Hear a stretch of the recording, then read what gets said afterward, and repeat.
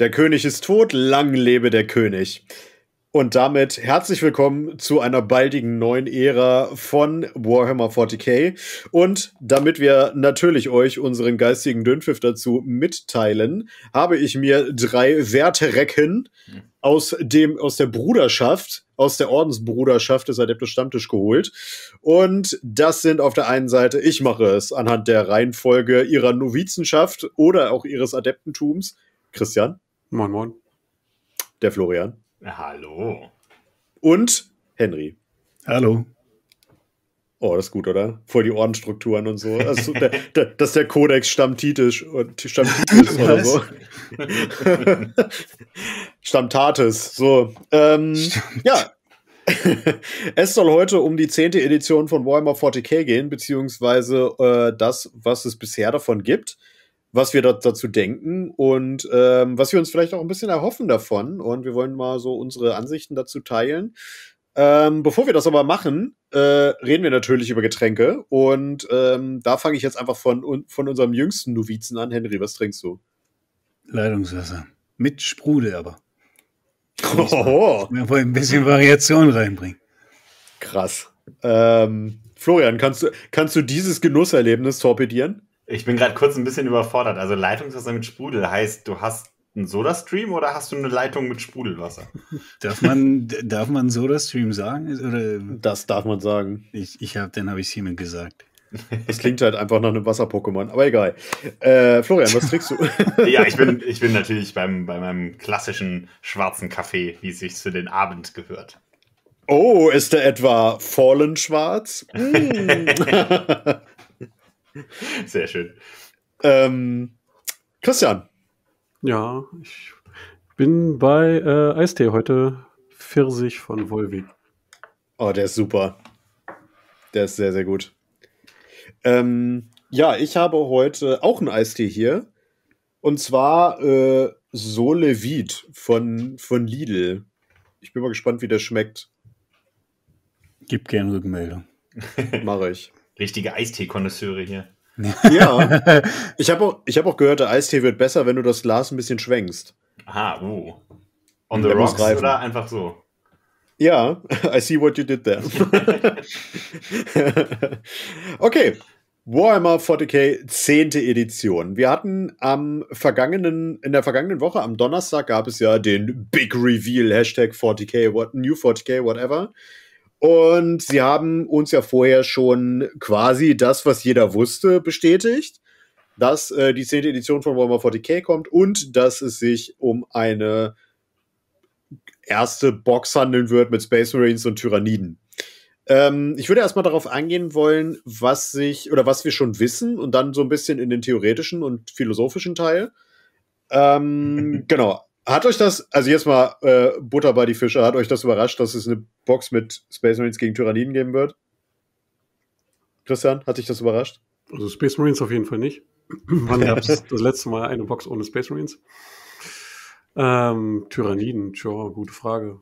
Also überrascht nicht. Ähm, Tyranniden, so in meiner Erinnerung, sind ja bei Xenos auch ganz gut weggekommen die letzten Jahre, was neue Modelle angeht. Da geht es jetzt Super, ein bisschen weiter. Ja. Nö, also ich finde es okay. Also ist vielleicht nicht der neue große Feind, den ich gesehen, gerne gesehen hätte, aber auch nicht uninteressant. Ja, wie, wie geht es dir, Henry? Naja, wir sind ja keine Orks. Ah, Punkt. so, Ende ja. des Podcasts.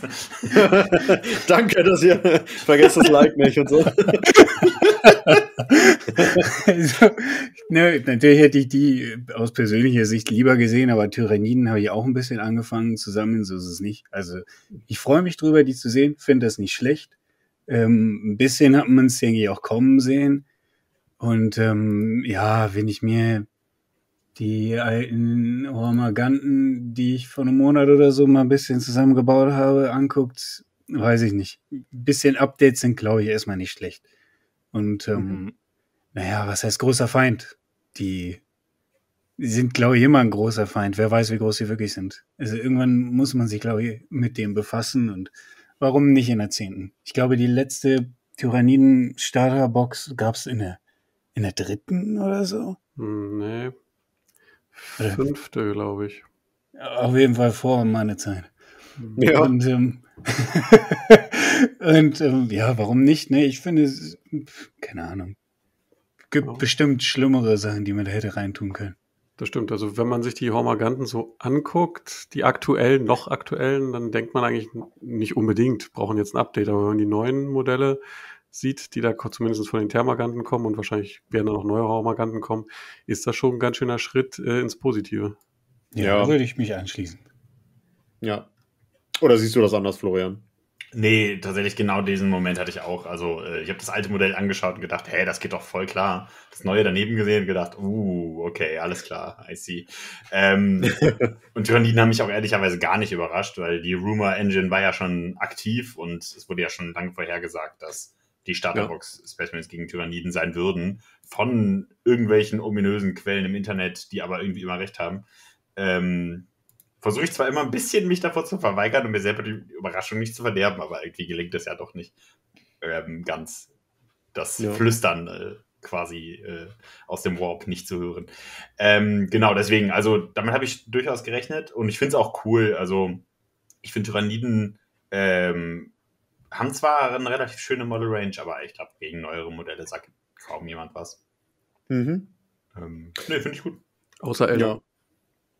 Ja, ey, Ja. Also ich habe immer noch Aspektkrieger, die älter sind als ich, ne? Also ja, das stimmt. Ich habe äh, deine, ich habe mal geguckt, von wann ähm, ich die oder von wann die die Warp-Spinnen sind, die ich von dir gekriegt habe, Christian. Hm.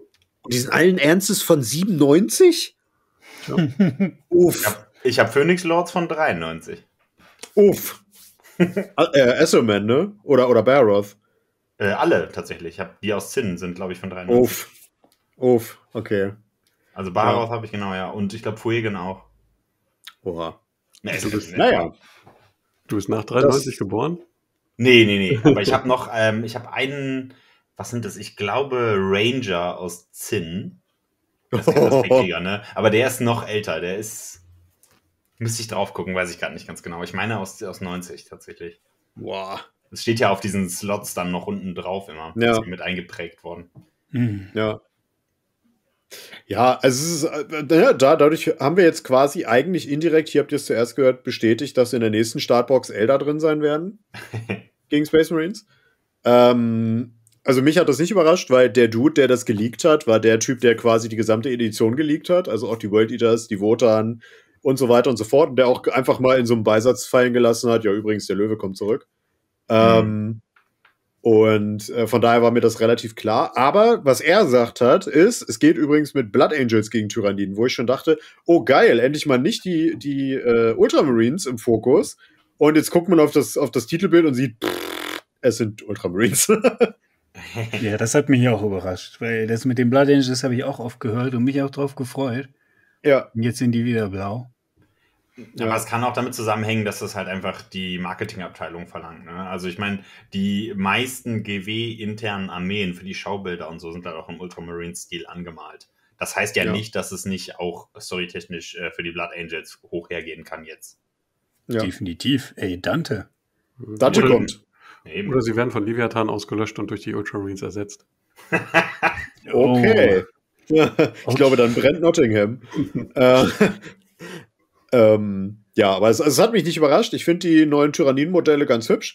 Was bei mir so mitschwingt, ist so dieses Jahr, dann sind das neue Modelle. Was kosten die aktuell? 25 Euro, 10 Stück? 11 Stück? Ich glaube, es sind immer 11. Ne? 30. Kommt drauf an, welche 30. du möchtest. Bei Homaganten, ich weiß jetzt nicht, wie es seit März ist, aber vorher waren die 31,50 und Thermaganten waren noch mal ein bisschen günstiger bei unter 30, aber über 27. Die Ich du glaube, das werden die nicht mehr kosten. Oh, sorry. Ja. Wie bitte? ja, alles gut. Ich sagte, die hast du sowieso gebraucht gekauft. Hormaganten und Thermaganten waren so auf, auf dem Markt. Ich glaube. Eigentlich schon, ja. Aber jetzt werden sie teurer, hundertprozentig. Also so ein Zehner-Trupp für 45 Euro oder so halte ich schon für realistisch. Und dann bei einer Massenarmee, oh.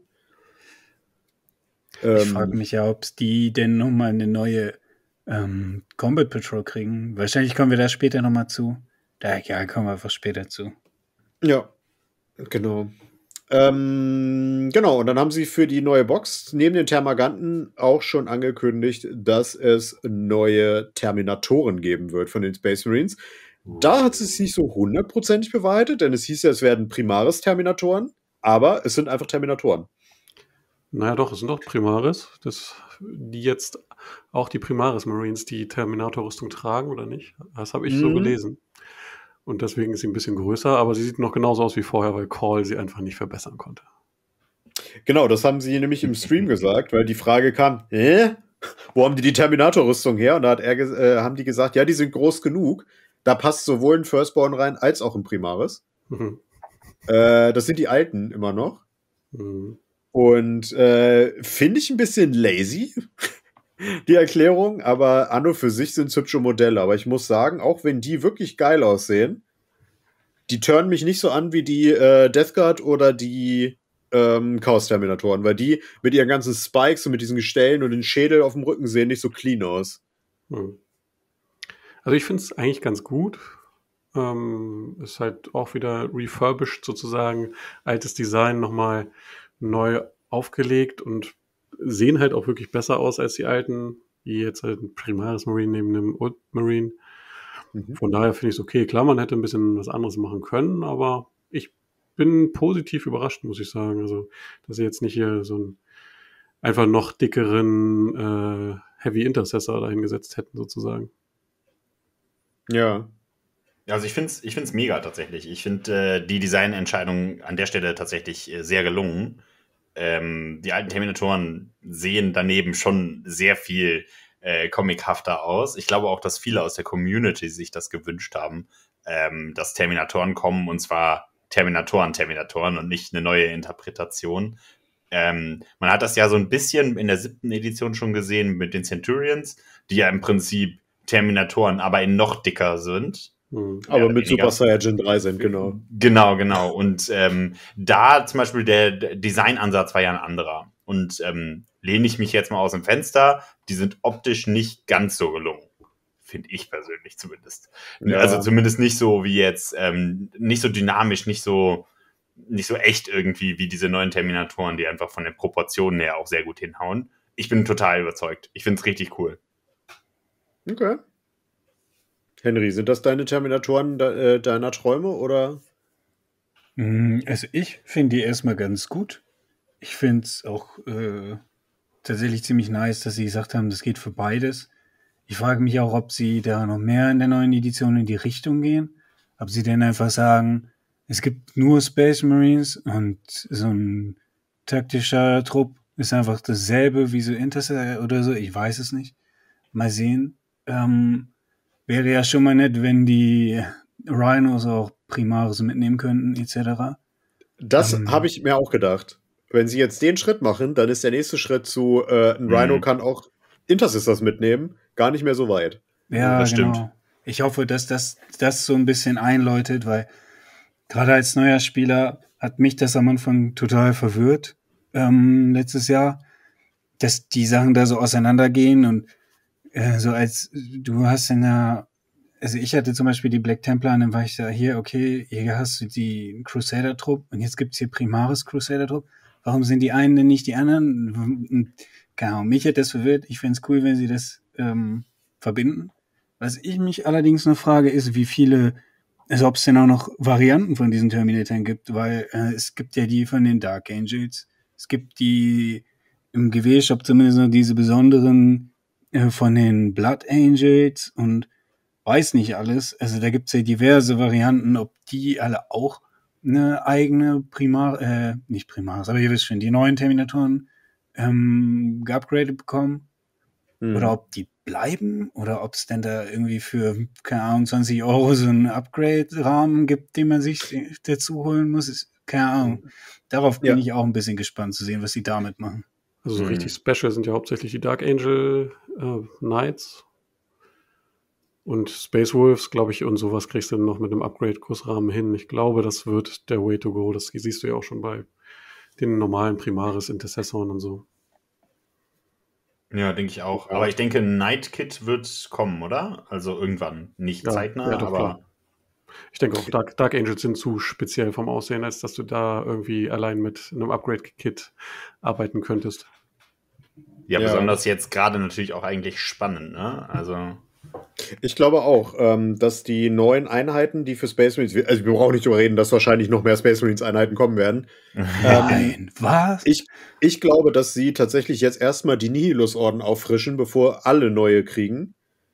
Ähm, und mein Tipp wäre tatsächlich, dass sie jetzt äh, neue Dark Angels Terminatoren machen. Sei es über einen Upgrade-Rahmen, äh, der mit in der Box liegt. Sowas haben sie ja bei Kill Team auch schon. Ähm, und dass bei den Blood Angels neue Sprungmoduleinheiten kommen. Primarisiert. Boah, ich hoffe so sehr drauf, ganz ehrlich. Mhm. Ja. Ich glaube, jeder hofft darauf. Weil ohne kannst du halt auch ohne kannst du halt auch äh, Blood Angels nicht verkaufen. Also man sieht ja, dass äh, die versucht haben, aber die haben doch auch primare Space Marines. Ja, aber das sind nicht Blood Angels, Punkt. So, mhm. Blood Angels müssen mit, mit dem Sprungmodul vorne rein. Ähm, und ich glaube, dass sie das auch inzwischen verstanden haben, weil die sehen ja, was die Leute spielen bei Blood Angels und das sind halt Sprungmodule. Ja, und klar. Ein Hinweis darauf ist ja auch äh, Space Marine 2, wo es ja auch das primares Jump Pack mit dem Thunderhammer gibt und so denke schon, dass wir das sehen werden. Zumal ja hier der, der Dude, der das alles geleakt hat, hier auch gesagt hat, übrigens, da kommt Sanguinius noch in Form des Sanguinus zurück. Das ähm, würde ich sehr gerne sehen. Ich auch. Ich auch. Genau. Aber das wäre fast das, ein bisschen viel. Ich also weiß nicht. Wird, das wird ein bisschen dauern, glaube ich, bis wir das sehen. Ich glaube nicht, dass die so zeitnah mehrere ähm, Primarchen raushauen. Ja. Haben wir mit in sehr kurzer Zeit Angron gesehen und den Löwen angekündigt bekommen. Ähm, ja. Ich glaube nicht, dass jetzt ähm, der Sanguino in den nächsten zwei, drei Monaten rauskommt. Ja. Apropos der Löwe. Was haltet ihr denn vom Modell vom zweiten loyalen Primarchen von Lion L. Johnson? Ich war etwas überrascht, muss ich zugeben. Sieht aus wie Tivin Lannister. Ja! Tut er wirklich. ähm, aber gefällt er euch optisch, Christian? Was, was hast du? Du bist doch Space Marine-Spieler, da musst du das sagen, Mensch. Ja, aber kein Dark Angel-Spieler. Mm, ja, dunkle Rüstung, komm, kannst du ummalen. Ich weiß nicht so, äh, ob das schon geredconnt wurde, aber eigentlich altern doch Primarchen nicht, oder? Und doch, aber sehr langsam. Das haben sie nämlich schon geredconnt im Livestream, weil die Leute auch geschrieben haben. Hä? ähm, und haben sie halt gesagt, ja, Leute, der hat 10.000 Jahre im Bett gelegen, da sieht man so aus. Na, okay. Ja, ich, ich mag sowieso Space Marine Modelle mit Kopf nicht so gerne wie mit Helm, auch wenn ich das da nicht ganz so äh, dogmatisch bin, aber ähm, so mit der Kapuze und, und der Maske finde ich das Modell eigentlich ganz gut gelungen. Die anderen Kopfvarianten holen mich ein bisschen weniger ab. Ich, ich sehe das Problem irgendwie bei den loyalen Primarchen so, die sind irgendwie, die sind cool, aber irgendwie so, ja, ist halt immer noch ein großer Space Marine mit ein bisschen äh, Tralala auf dem Base. Und wenn du dann halt die äh, Dämonenprimarchen siehst, da kann man halt so viel mehr machen. Das gefällt mir besser, obwohl ich eigentlich eher loyal bin äh, als cha chaotifiziert. Ähm, Sagt derjenige, der fast nur Death Guard gespielt hat, zuletzt. ja, aber wie gesagt, deswegen es ist ein schönes Modell, aber irgendwie ein bisschen langweilig. Geht mir genauso, tatsächlich. Ähm, aber erstmal die anderen beiden. Florian. Hm, schön, also ich, ich kann da eine andere Meinung auf jeden Fall an den Tisch bringen. Ich finde das Modell großartig. Ich finde es richtig, richtig schön. Sehr gelungen, coole Pose. Ähm, ja, es ist ein großer Space Marine und alle anderen loyalen Primarchen sehen, oder viele andere loyale Primarchen sehen halt genauso aus mehr oder weniger. Also Rogel Dawn würde ich mir jetzt auch nicht unbedingt sehr aufregend vorstellen. Ähm, ich muss aber sagen, ich finde es äh, großartig, wie sie das Design genommen haben und erneuert haben. Die Detailtiefe gefällt mir richtig gut. Ich liebe die Helmauswahlen. Ähm, ich finde cool, dass man die Möglichkeit hat, diesen etwas albernen Flügelhelm da äh, zu, zu tragen. Äh, den Löwenhelm, den, das Chapter feierte. Äh, ich wollte ähm, sagen, hallo, dass er wohl bitte, also ich würde den nehmen, wenn ich den bauen würde, ganz ehrlich. Ja, ja, ja. same. Auf jeden Der schreit für mich nach Dark Angels. Äh, komplett.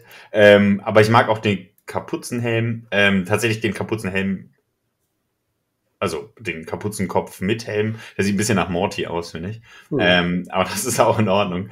Ähm, genau, finde ich cool, dass man da Optionen hat. Ich mag die Watcher total gerne. Ähm, also für mich, also optisch auf jeden Fall alles rausgeholt, was möglich war bei dem Modell. Finde es richtig cool. Okay. Henry, siehst du das genauso? nee. Ähm, ich finde ihn nicht doof. Ich finde ihn gut gelungen. Wenn ich ein Dark Angels Spieler wäre äh, oder nicht schon so einiges im Schrank liegen hätte, würde ich jetzt vielleicht sagen, ja, äh, gute Sache. Also ich finde das Modell an sich gelungen, aber wie gesagt, ich spiele die Armee nicht, deswegen ist er mir ein bisschen egal. Und ähm, ne, eigentlich gibt's ja auch schon, ich vergleiche immer so ein bisschen mit denen aus Horus Heresy. Und ähm, mhm. ich weiß nicht. Ich weiß nicht. Ich glaube fast, ich würde sagen, der aus Horus Heresy gefällt mir ein bisschen besser. Dafür ist der aktuelle 40k Gilliman besser als der Horus Heresy. Ja, ähm, also erstmal bin ich, bin ich da bei, bei dir und bei Christian. Ähm, ich habe auch, als ich den gesehen habe, ich gedacht, okay, der sieht echt cool aus. Aber der ist für mich kein Centerpiece, weil so ein Centerpiece ist einfach so ein Angron, der hat einfach so eine Naturgewalt auf dem Feld ist. Oder ein Mortarion, dieses Riesenvieh mit diesen Seuchenflügeln und sowas. Ähm, das sind halt einfach Sachen, wo du sagst, Alter, das ist der Primarch von dieser Armee, crazy. Und das ist halt bei ihm hier so, der sieht halt cool aus, genauso wie Gilliman, aber also der, der beeindruckt mich nicht. So, der, der, der hat viel Klimbim dran, aber es ist am Ende nur ein Space Marine mit einem, mit einem fancy Helm. Ähm, also das, das, das weiß ich nicht. Und dann kommt noch dazu, was du eben gesagt hast, Henry. Ich glaube, sie haben sich keinen Gefallen damit getan, dass sie zuerst den Löwen gebracht haben äh, bei Forge World und dann den Kahn, weil wenn es andersrum gewesen wäre, dann wäre das jetzt hier hätte man den Lionel Johnson aus Plastik zuerst bringen können, weil ich finde, dass der von Fortschritt besser ist, weil der hat ja dieses, diese Kampfpose noch, wo auch diese ganzen ähm, Nightlords in der Mitte zerhackt. Ähm, und der hat eine viel A dynamischere Pose und B sieht er halt deutlich kriegerischer mit dieser dicken Templerrüstung aus, mit diesem Templer-Zweihandschwert, ähm, was sie ihm ja hier jetzt auch nicht gegeben haben er trägt ja jetzt dieses neue Schwert, was er von Korra gekriegt hat und angeblich den Aegis des Imperators, den ich glaube ich noch nie gesehen habe bei irgendeinem Artwork ever vom Imperator. Der hat immer nur lange Fingernägel in der linken Hand. Genau, und damit manche schon äh, vermutet, ja, okay, wenn dann der nächste loyale Primarch kommt, Rogel Dorn, weil die, die, die E-Kralle ist noch über und ihm fehlt ja eine Hand, also why not? Das stelle ich mir aber cool vor. Ja. Aber an sich, er ist cool. Ich mag auch Lionel Johnson als Primarchen in den Geschichten. Ich bin nicht so hundertprozentig überzeugt vom Modell. Mal gucken. Ähm, ich mag ihn halt so als Old Man nicht. Finde ich spannend. Ich finde tatsächlich cool, dass er ein bisschen ähm, älter und verwittert aussieht, weil ich finde, dass das zu der Legion gut passt. So im Schatten sein und so ähm, ein älterer Ritter irgendwie äh, stilistisch. Also mir hat's gefallen. Ich verstehe aber, dass das ein bisschen gegen die eigentliche Lore geht. ähm, ja. Aber ich finde spannend, dass, dass ihr jetzt ähm, nicht so überzeugt seid, weil ich hatte das Gefühl auch, dass ähm, zumindest in meiner Bubble war die äh, äh, Reception von dem Modell ziemlich positiv. Und ich finde tatsächlich das Forge-Modell gar nicht so geil. Also ich bin, ich bin komplett okay. andersrum überzeugt. Also ich mag die neue Ausführung sehr viel lieber. Außerdem kommt mir kein Resin ins Haus, wenn es eine Plastikalternative gibt. Punkt. Weiß okay. Man, äh, Entschuldigung, weiß man schon die Basegröße von dem neuen äh, Lionel Johnson? Ja, wie bei Gilliman. Wie bei Gilliman und Abaddon, genau. Wel welche ist es? Also, weiß ich gerade nicht im Kopf. Äh, 100, glaube ich. Ah, okay. Also kann man nicht einfach, ich sag mal so, wenn man unbedingt ähm, den alten nehmen möchte, den kann man ja auch im Zweifelsfall einfach den auf die Base stellen, aber. Nee, die haben eine 80er oder eine 60er, die ist kleiner. Hm. Ja.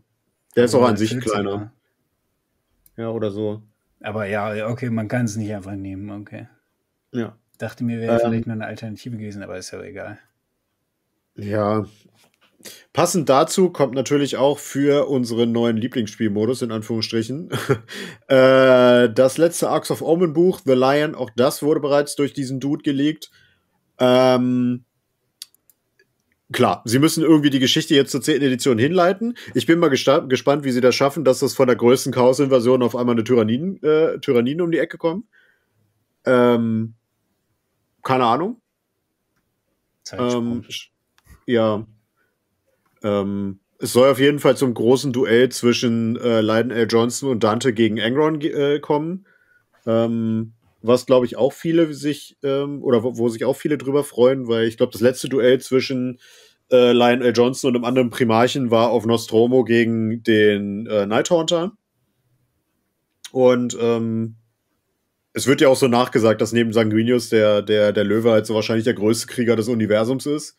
Und ähm, da bin ich mal gespannt, was dabei rauskommt. Und vor allem, welche Regeln er mitbringt, weil jetzt hat sich ja bestätigt, wie die Leute vermutet haben, von wegen, warum steht denn in den Boarding Actions Regeln nicht, sie dürfen Robot Gillimit mitnehmen, sondern sie dürfen ein Primark Model mitnehmen. Jetzt wissen wir warum.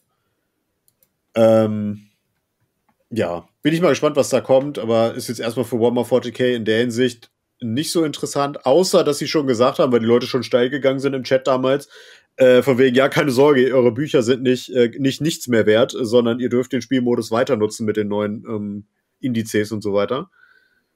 Ähm, genau, dann kommen wir mal zu dem Schritt, der jetzt wahrscheinlich für uns alle am interessantesten ist, denn sie haben bereits neue Regeln angekündigt. Äh, ganz kurz, einmal, ich habe nachgeschaut, ja. 60, 60 mm Rundbase hat ähm, der Gilliman und damit auch der neue Löwe. Hm. Okay, also immer noch größer als die Primarchen von Fortune, schade. Aber zur Not nimmt man den ja magnetisiert, keine Ahnung. Ja, also wo ein Wille ist, ist auch ein Weg, da brauchen wir nicht überreden, ja. Ja, definitiv. Ja. Und wenn du eh dabei bist zu Kitbashen, dann kannst du ihm auch einen Ohrkopf ankleben. Fast die grüne Rüstung. Ja. ähm, genau, und mit der zehnten Edition kam genau das, wo ich, und das darf ich mir jetzt einfach mal herausnehmen, zu sagen, wo ich von vornherein gesagt habe, Freunde, das kommt alles und das Geweine groß war in sämtlichen Gruppen. Ähm, und es ist tatsächlich nur, weil du es 18 Mal gesagt hast.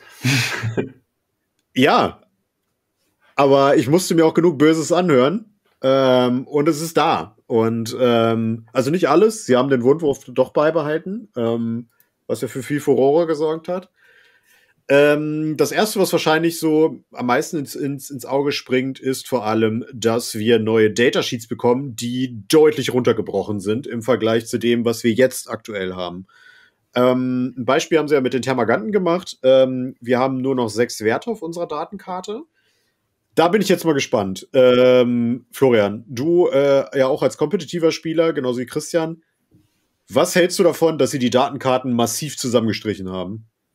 Mm, prinzipiell positiv gestimmt tatsächlich. Ich hatte ein bisschen Schiss, äh, bin ich ehrlich. Besonders mit dem Wundwurf hatte ich mir vorher Gedanken gemacht. Ich finde viele der Änderungen sehr positiv. Ich finde gut, also erstmal der neue Wert, nämlich wie, als wie viele Modelle das am Marker zählt oder wie auch immer der Wert dann tatsächlich zu interpretieren ist. Also das Marker Control ähm, finde ich super, weil damit die ganze Night-Problematiken angefasst wird und auch Fahrzeuge irgendwie relevanter werden können beim äh, Marker halten. Finde ich super, richtig gut. Ähm, mir gefällt gut, dass die Trefferwürfe und so äh, an die Waffen gepackt haben. Ähm, ich weiß noch nicht, ob sie das jetzt sinnvoll umsetzen. Da bin ich noch gespannt. Ähm, aktuell haben wir ja ein Cap auf die Modifier. Ähm, das muss natürlich überarbeitet werden, das System, weil der, das Cap jetzt anders greifen würde. Ähm, und dann ist die ja. Frage, ob ich eine E-Faust überhaupt noch mitnehme, wenn die schon auf die 4 trifft und trotzdem noch schlechter werden kann, der Trefferwurf. Da muss man also mal schauen. Also da haben sie sich selber leider in eine Situation gebracht, wo sie versagen können im Regeldesign und typischerweise ist GW sehr gut da drin, auch Fettnäpfchen zu finden, die sich selber in den Weg legen. Ähm, Finde ich super. Die Keyword-Section wurde überarbeitet. Es, hat, es gibt weniger Keywords und weniger Fraktions-Keywords. Und das ist großartig, weil das war äh, einfach eine, eine Section, da hat man immer nur reingeguckt, wenn man nach einer spezifischen Sache gesucht hat. Und ansonsten war man immer damit überfordert, dass da zwei Zeilen untereinander waren, die schon beim bloßen Anblick irgendwie verschwimmen und wenn die dann in die zweite Zeile gehen, bei einer davon schon Katastrophe. Also, dass sie die so ein bisschen auch farblich getrennt voneinander nebeneinander gemacht haben, gutes Design. Ja. Und dann noch, also das ist soweit alles super. Äh, bei den Sonderregeln können wir gleich später nochmal drüber reden. Äh, bei den Reactions, da bin ich mal gespannt, wie sie das System umgesetzt haben. Ähm, das kann man ja jetzt noch nicht so richtig gut bewerten. Aber wenn alle Einheiten so Effekte wie die Thermaganten haben, dann würde ich behaupten, dass sie das Spiel damit eher komplexer als weniger komplex gemacht haben, was ja das Ziel war. Das finde ich eine spannende Aussage. Christian, gehst du damit? Ja, also mit der ersten Aussage tue ich mich schon ein bisschen schwer, weil ich finde, tatsächlich sind die Datasheets nicht gestreamlined, da ist eher noch ein zusätzlicher Wert dazugekommen. Nur dass Weapon Skill und Ballistic Skill in die Waffenprofile gerutscht sind. Ähm, von daher sehe ich da jetzt nicht den großen Unterschied. Man kann, also was der große Unterschied aus meiner Sicht ist, dass GW jetzt mehr Möglichkeiten hat, einzelne Waffen anzupassen. Schlecht finde ich es auch nicht, wie es gemacht wurde. Fa äh, Keywords bin ich absolut bei äh, Florian. Von daher, das, das passt. Und ja, mit den Sonderregeln müssen wir gucken. Sie haben ja angekündigt, es wird wieder Universal-Sonderregeln geben. Feel No Pain, dass ja jeder Veteran des Spiels immer noch so genannt hat, egal wie die Sonderregel dann im Datasheet hieß. Das ist, ist gut, ähm, aber ich, ich gebe recht, ihm recht, äh, wenn man hier sieht, dass schon die Thermaganten eine relativ interessante, aus meiner Sicht auch sehr starke Fähigkeit haben, müssen wir mal gucken, was dann Datasheets bekommen, die ja eigentlich noch elitärer sind und ein bisschen was anderes als jetzt so eine Masseneinheit. Ja, äh, Henry, wie siehst du das? Ich meine, ähm, auch nochmal um da zu ergänzen, diese Datensheets, die wir jetzt hier sehen, die wird es ja so jetzt auch ähm, zu kaufen geben als Datenkarten. Etwas, was sich ja die Fans von 40k äh, gewünscht haben, seit die erste Edition Age of Sigma draußen ist. Also ähm, eigentlich haben sich das die Age of Sigma-Fans gewünscht, die auch 40k spielen. Die 40k-Spieler haben sich das nicht gewünscht. Ja. Also, ich weiß von vielen, die, die, die gesagt haben damals, Alter, die brauche ich, das ist voll super. und mir ging das auch schon immer so. Ähm, und jetzt kriegen wir sie endlich. Ähm, das, das ist schon mal gut. Und ansonsten, ja, Henry, fällt dir was dazu auf, wie die aufgebaut sind? Ähm, ja, doch schon sehr ähnlich. Ja. Also, was soll ich da kurz zu sagen? Für mich ist es natürlich toll. Ich kenne mich mit Age of Sigma ein bisschen besser aus.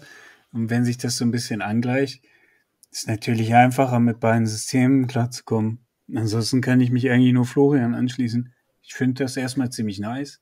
Ich glaube nicht, dass man da direkt ähm, negativ darauf reagieren muss. Ja, man weiß.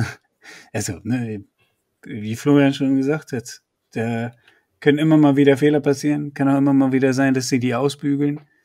Ähm, ich bin auf jeden Fall gespannt und eigentlich eher, ja, positiv gestimmt selbst wenn es nochmal mehr Komplexität ähm, hinzufügt, auf den ersten Blick sind die bestimmt schon mal einfacher zu verstehen. Und ähm, ja, ich meine, das ist ein System, das hört man oft, ähm, easy to learn, hard to master. Und so, naja, wenn du als Casual-Spieler einstiegen möchtest, ist er, glaube ich, damit mh, mm, besser zu schaffen. Würde ich jetzt einfach mal behaupten, von dem, was man bisher gesehen hat. Aber wenn man diese übelste Komplexität möchte und sich da komplett reinsteigern will, dann ist es, denke ich, immer noch möglich. Kann auch sein, dass ich falsch liege, sieht man dann. Mhm. Ja. Also, was mir noch aufgefallen ist, an dem, also mir gefällt das grundsätzlich auch und ich bin da bei euch. Ähm, was mir noch aufgefallen ist, dass hinter den Waffen jetzt auch so eine Art äh, Keywords noch stehen, weil wir haben zum Beispiel bei den Thermaguns Bindfists äh, Assault, Pistol und Twin Link stehen. Twin Link kennen wir ja eigentlich aus der Horus-Heresie.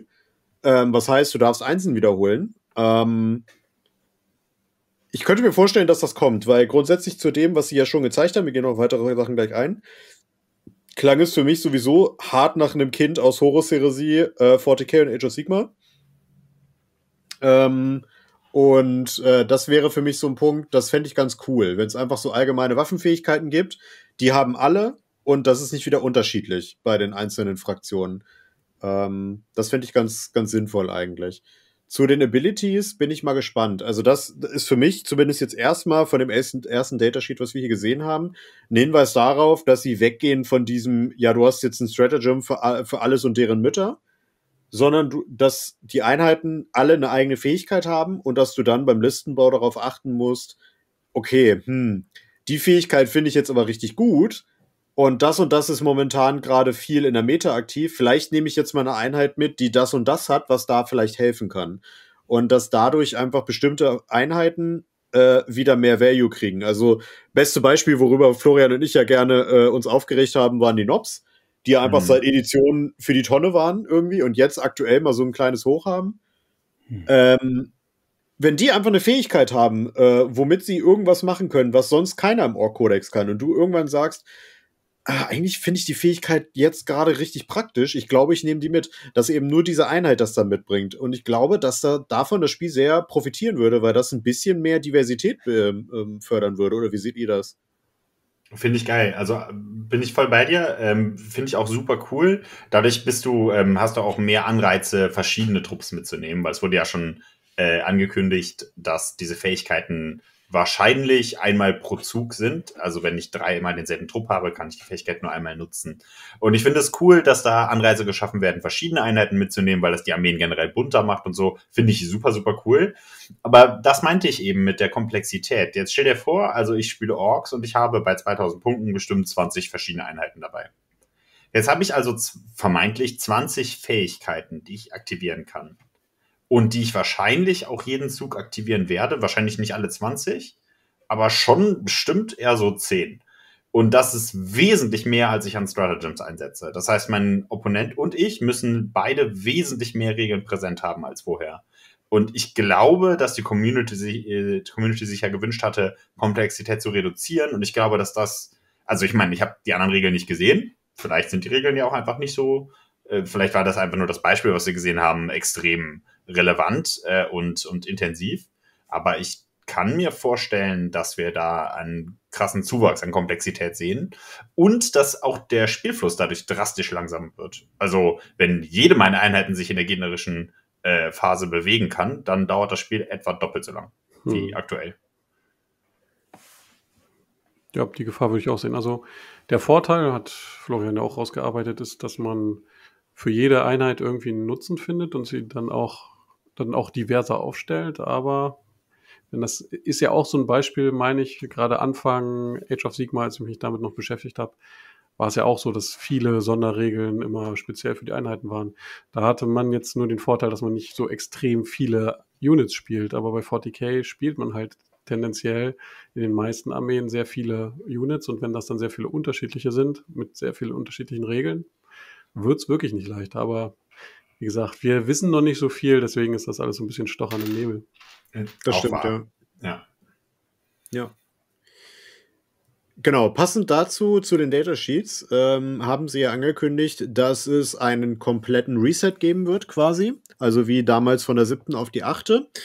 Und äh, was erstmal ein äh, Schlag mit der Kettenaxt in den Bauch äh, von World Eaters und von Astra Militarum Spielern war. Ähm, gefällt mir eigentlich ganz gut, wenn ich ehrlich bin. Ich verstehe jetzt aber den Aufschrei, dass sie gesagt haben, yo Leute, mein Kodex ist nicht mal sechs Monate alt und ihr werft den in die Mülltonne. Ähm, das erste Mal. Aber ich glaube, so schnell war das noch nie, oder? Ich weiß nicht, ob vor der achten Edition nicht auch gerade frisch irgendwas kam. Hm, nur, so, nur so Kampagnenbücher tatsächlich. Ich glaube, einen direkten Kodex nicht. Aber war es nicht in der achten auch so, dass ganz kurz vor Ende noch ein Kodex kam? Mhm. Soros. Ich weiß aber nicht, nicht, wie viele Monate vor Ende das war tatsächlich. Das weiß ich auch nicht. Ah, doch, das war zum Weihnachtsgeschäft. Zum Weihnachtsgeschäft, weil mhm. Christian Hugler äh, hat mit mir äh, kurz vor Weihnachten noch gespielt. Also da hatte er den schon. Also ah, okay, äh, kurz vor Weihnachten. Okay, dann haben wir jetzt auf jeden Fall noch mal weniger Zeit. Das stimmt schon. Genau. Ähm, aber sie machen es genau wie in der achten. Äh, sie gehen zurück auf Indizes. Diese Indizes ähm, werden dieses Mal nicht verkauft, was schon mal ein Vorteil ist, weil GW wissen wir ja alle, die verkaufen zur Not auch deren Mütter. Ähm, und zwar werden die online kostenlos zum Download da sein. Jede Fraktion bekommt einen davon. Äh, manche bekommen äh, welche, die ein bisschen komplexer sind, so wie zum Beispiel bei den Space Marines. Ähm, und die sind dann aufgeteilt äh, auf verschiedene Orden, Fraktionen innerhalb dieses, äh, dieses Buches äh, oder dieses Indexes. Und ich denke, dass wir da den auch das habe ich schon immer angekündigt und habe mir da viel Böses dafür anhören müssen, dass wir da die Blaupause bei den World Eaters gesehen haben und so hat das GW jetzt auch bestätigt. Mhm. Ähm, es wird ungefähr zwei DIN A4 Seiten Regeln für die Fraktionen geben, die wir spielen. Das beinhaltet Warlord Trades, das beinhaltet Relikte, das beinhaltet Gefechtsoptionen und das beinhaltet wahrscheinlich, ich gehe fest davon aus, weil wie gesagt, Horus Heresie hat es auch, äh, dass jeder, äh, jeder Orden, jede Fraktion eine eigene, eine eigene Reaktion kriegt, die sie eine der Phasen des Spiels, die wir auch inzwischen weniger haben, ähm, anders spielen lässt. Ähm, und jede, jeder Orden, zum Beispiel bei Space Marines, das hatten sie ja nochmal spezieller gesagt, also wenn man jetzt Dark Angel spielt, die haben dann nochmal ein eigenes Regelgerüst, wo sie dann statt den des normalen Space Marine ähm, Indexes bekommen sie ihre eigenen Dark Angels Regeln. Ich behaupte, ich weiß es nicht, ich behaupte, dass es sowas sein wird wie die Armies of Renown beim World Eaters Buch, weil da ist es ja einfach so, dass es heißt, ähm, äh, also du musst jetzt hier Angron mitnehmen für die Disciples of the Red Angel und dann musst du das und das und das spielen. Und ich könnte mir vorstellen, dass zum Beispiel die Dark Angels dann sagen, okay, pass auf, du hast hier eine Army of Renown Deathwing, du musst Belial mitnehmen, keine Ahnung, und dann der ganze Rest muss mit Deathwing sein. Und ich glaube tatsächlich, dass das die neue Art ist, wie wir dann noch Listen bauen. Oder nicht? Ja, kann ich mir auch gut vorstellen. Was ich auch einen schönen Designansatz finde, äh, die Regeln auf zwei Seiten zusammen zu schrumpfen, halte ich für eine großartige Idee, wobei ich es natürlich, also es ist natürlich einfach geschummelt, ne? Also wenn ich einfach die ganze Stratagem Section nehme und auf die Datasheets mit draufschreibe, habe ich auf einmal keine Stratagem Section mehr. Das ist natürlich irgendwie wahr. ja. ähm, aber es ist vermeintlich ja dennoch eine Reduktion der Komplexität. Ähm, weniger Zauber, weniger äh, Warlord Trades, weniger alles. Und das finde ich eine gute Sache. Der Chaos Codex, großartiger Codex der neunten Edition, aber da waren wie viele? 42 Warlord Trades? 47. 47, 47 Warlord Trades und 83 Relikte, meine ich, waren es. Ja, das ist doch, also, das war für den Fluff-Spieler großartig, aber für jemand, der wirklich alles gleichzeitig präsent haben möchte, ein einziger Albtraum. Ja. Ja wir haben es ja auch beim World Eaters Codex Review gesagt, das war mal erfrischend, dass es so streamlined war. Wenn sie das jetzt auch so durchsetzen, finde ich das eine gute Sache. Ähm, mit den Sonderregeln hat es zumindest den Vorteil, ähm, dass es immer was, was man innerhalb dieser Datasheets, die es ja dann geben wird, in der App, wie auch immer, direkt am Tisch hat, weil man da eh durchblättert, sag ich mal so, wenn man Statuswerte anguckt. Das war ja so bei Standardregeln nicht so, dass er nicht bevorzugt nicht immer noch mal im Buch rumgeblättert. Ja. Ja. Äh, ganz kurz, das wollte ich eben noch sagen, das Twin-Linked oder synchronisiert, wie es auf Deutsch heißt, äh, wird übrigens, also das war in 40k auch früher schon eine Universal Special Rule. Also das gab es ah, ja. einschließlich siebte Edition immer. Immer. Was hat die gemacht damals? Auch. Auch Rewards, ja. Auch, auch die einzelnen Rerun, genau. Ja. Ich glaube sogar komplette, ne? Habe ich auch gedacht, ja. Ich meine, ja. Oh, okay, ja. Aber dafür hast ähm, du auch doppelte Kosten bezahlt. Also es war immer so ein bisschen nicht so wenn man freiwillig, ah. freiwillig lieber zwei Laserkanonen als eine Twin linkt. Genau. Okay, krass. Ähm, Henry, du bist jetzt auch relativ neu. Du hast ja jetzt auch deinen, ähm, deinen Black Templars Codex zum Beispiel erst gekauft, deinen Orc Codex. Wie stehst du zu diesem Index-System? Weil ich meine, du hast ja noch nicht gespielt, als das kam damals, oder? Hm, was ist genau, dass die, dieser Wechsel kam? Genau. Nein, das nicht. Also für mich ist das jetzt was Neues. Ich bin auch gespannt, wie genau das denn ablaufen wird. Ähm, ja, um den Astra Militarum Kodex bei mir ist es jetzt natürlich schade. Aber alles für den Fortschritt, ne? Also, was soll's, ne? Schwamm drüber. Ist eh, ne? Kodexe sind ja eh immer so eine Sache, die werden ja eh ständig geupdatet. Also, ich finde es jetzt nicht so wild. Und vor, vor dem Release outdated. das ist ja. halt wirklich, muss man halt, ja, es sind eh dynamische Bücher, würde ich sagen. Die Hälfte steht dann irgendwann eh im Netz. Und ähm, ja, halb so wild ist, ist jetzt erstmal so. Weniger zu lesen, finde ich auf jeden Fall erstmal nicht schlecht. Und GW hat es ja auch gesagt, dein alter Kodex ist ja nicht verloren. Du hast ja noch den Fluff und alle möglichen Texte da drin. Yeah. Mm, yippie. Die, was, ich, ich, vielleicht ist das eine unpopular Opinion, aber in manchen Büchern, gerade bei den, also ich weiß, bei, ich habe nicht alle gelesen, aber in, beim Black Templar Supplement Codex, äh, jetzt auch in den Blood Angels und bei den Custodes gab es so Namensgeneratoren. Und die finde ich schon ziemlich cool, muss ich sagen. So für, wenn man so seinen Leuten ein bisschen sich eine Backstory überlegt oder ne, sich ein bisschen mehr mit seinen Figuren auseinandersetzen möchte, da fand ich das schon nicht, fand ich schon nicht schlecht. Gibt es zwar beim Guard-Kodex nicht, bin ein bisschen beleidigt, weil es sind auch Leute mit Namen. Ich bitte euch, selbst wenn sie nur zwei Minuten leben. ähm, ja, aber wer würfelt, wer würfelt für 300 Guardsmen die Namen aus? Ich es nötig wird. Ist mir ja egal. Also, Okay. Also, ja, diskutiere ich nicht lange. So, ne, aber so das fand ich, ist klar, ne, ich schmeiß die jetzt nicht weg. So ist es nicht. Mhm. Vielleicht in Büchereien sowas? Ich glaube nicht. aber so, ne, das stimmt schon. Da sind noch Sachen drin, äh, mit denen man sich, wenn man möchte, auseinandersetzen kann. Ja, halb so wild. Hm. Ich glaube, das ist eine Einstellung, die du im Laufe der Jahre noch äh, hart verteidigen musst, dir selber gegenüber. Ja, den, Good Ja, point. Also sagen wir mal so, wenn man das einmal erlebt, ist das okay. Wenn man das äh, zwei, dreimal erlebt, tut es irgendwann weh. Und so im Laufe der Jahre, die Kreise, die es zieht, es tut halt immer ein bisschen mehr weh. Ähm, das Konzept einfach, dass die Kodizes so laufend kommen. Also man muss ja realistisch betrachtet sagen, ein Guard-Player, der jetzt die neunte Edition spielen wollte, hat die neunte Edition, also gerade wenn du auch auf Turniere gehen möchtest, halt jetzt vier Monate gespielt. ja, ja. Die komplette neunte Edition. Du konntest doch auch vorher spielen. Du hast Nein. halt nicht gewonnen, aber du hast gespielt. Ich bin mir nicht mehr sicher, ob man das noch Spielen nennen konnte, was da zwischenzeitlich passiert ist bei der Garde. Also, man, hat das ja, Gegner hinge man hat dem Gegner das Gesicht hingehalten, ja.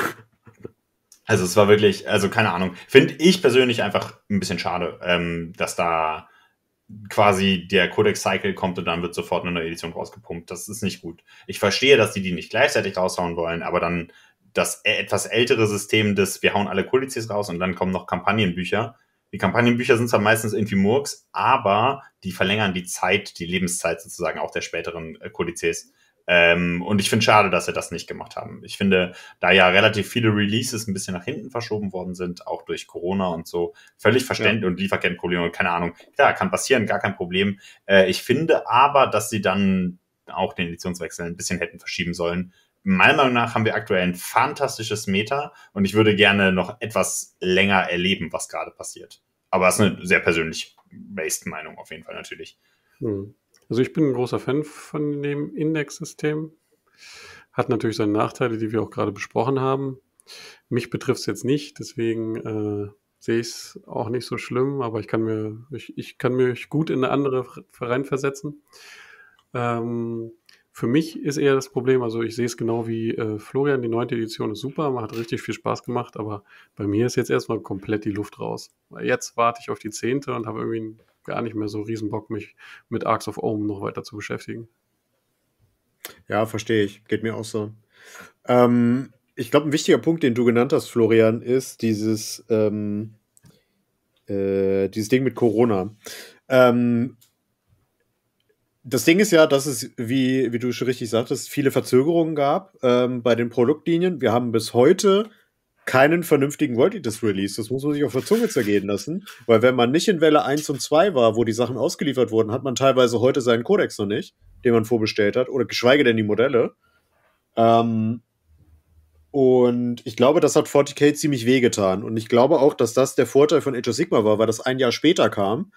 Ähm, weil die sind jetzt mit ihrem Battletorm-Zyklus, obwohl die mehr Armeen haben inzwischen, ähm, sind die durch quasi in zwei Monaten. Ähm, und haben dann ein Jahr bis zum Editionswechsel, wo wirklich alle mit ihrem Buch spielen können. Ähm, ich Geil. glaube, dass sie das mit 40k auch geschafft hätten, aber dass da Corona einfach einen Strich durch die Rechnung gemacht hätte oder hat. Das hätte ich fantastisch gefunden. Also das, das wäre mein, mein Traum sozusagen. Ja. Wobei sie es dabei halt auch so machen, dass sie in der Regel zwei Bücher gleichzeitig rausfeuern, ne? Ähm, das haben sie ja hier nicht gemacht. Ähm, genau. Ähm, was noch dazu kommt, ist ja, dass sie schon angekündigt haben, dass die Phasen des Spiels zusammengestrichen werden. Es wird keine, so wenn ich so ich es verstanden habe, keine Moralphase mehr geben und es wird definitiv keine Psi-Phase mehr geben. Ähm, was ich sehr spannend finde, ähm, weil das ist ein System, was wir bisher nur aus Killteam kennen. Ähm, und zwar werden äh, Psi-Kräfte jetzt Schusswaffen quasi, Mm. die wir in der Schussphase benutzen, so wie auch ein Killteam. Ähm, das war ja was, wo viele gesagt haben, "Äh, was ist das denn? Ähm, mögt ihr das? Also mich hat es stark überrascht, muss ich sagen, das im, im großen System zu sehen. Ähm, bei Kampfzaubern bin ich dem nicht abgeneigt. Bei Buffs bin ich neugierig, wie sie es umsetzen. Christian, wie siehst du das? Hm. Ich denke mal, Buffs werden dann in dieser Command Phase gesprochen werden, wie bei Age of Sigma, oder? Und dann finde ich das vollkommen okay. Ich meine, ich weiß nicht, warum man die Psi-Phase abschaffen muss, ob das Streamliner im Großen und Ganzen ist. Es ist ja auch irgendwie das Argument gewesen, es gibt Armeen, die keine Psi-Phase haben und keine Psi-Abwehr großartig und deswegen äh, dann eine Zeit lang nichts zu tun haben. Aber gut, das habe ich im größten Teil meines des gegnerischen Zuges, insbesondere in seiner Movement Phase. Außer dass ich natürlich darauf achte, was er tut. Ähm, für mich, ich finde, da ändert sich, es verschiebt sich alles ein bisschen hin und her. Wie gesagt, es werden dann irgendwelche, äh, wird dann in irgendwelchen anderen Phasen getriggert. Hm, aber vielleicht wird es da ein bisschen intuitiver, ein bisschen, ja, keine Ahnung, ob es dann mehr miteinander bringt, aber im Großen und Ganzen bin ich, stehe ich dem sehr neutral gegenüber. Also ich sehe da keinen großen Vorteil, aber auch keinen Nachteil. Okay. Henry, wie siehst du das?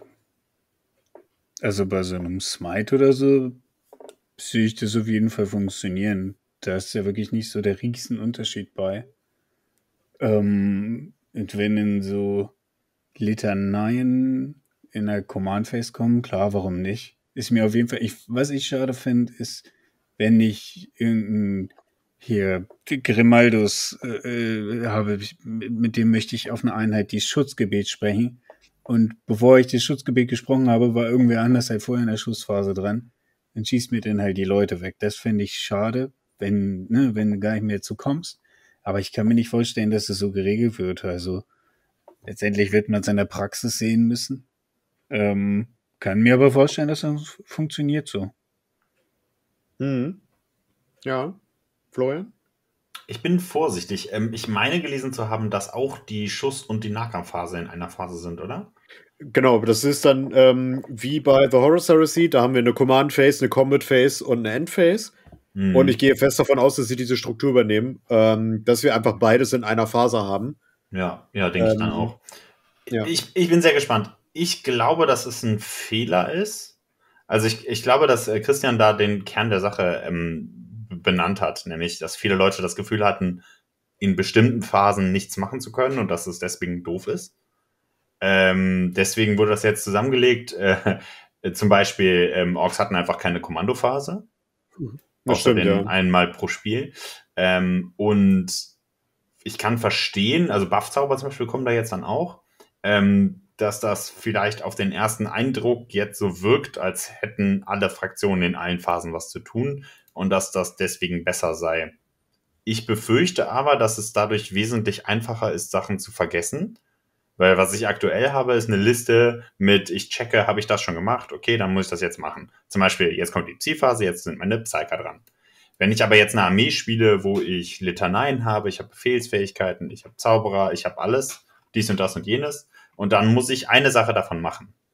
So, keine Ahnung, Doktrin umstellen oder so. Die, das muss alles in derselben Phase sein. Dann fällt es mir leichter, davon etwas zu äh, vergessen, glaube ich.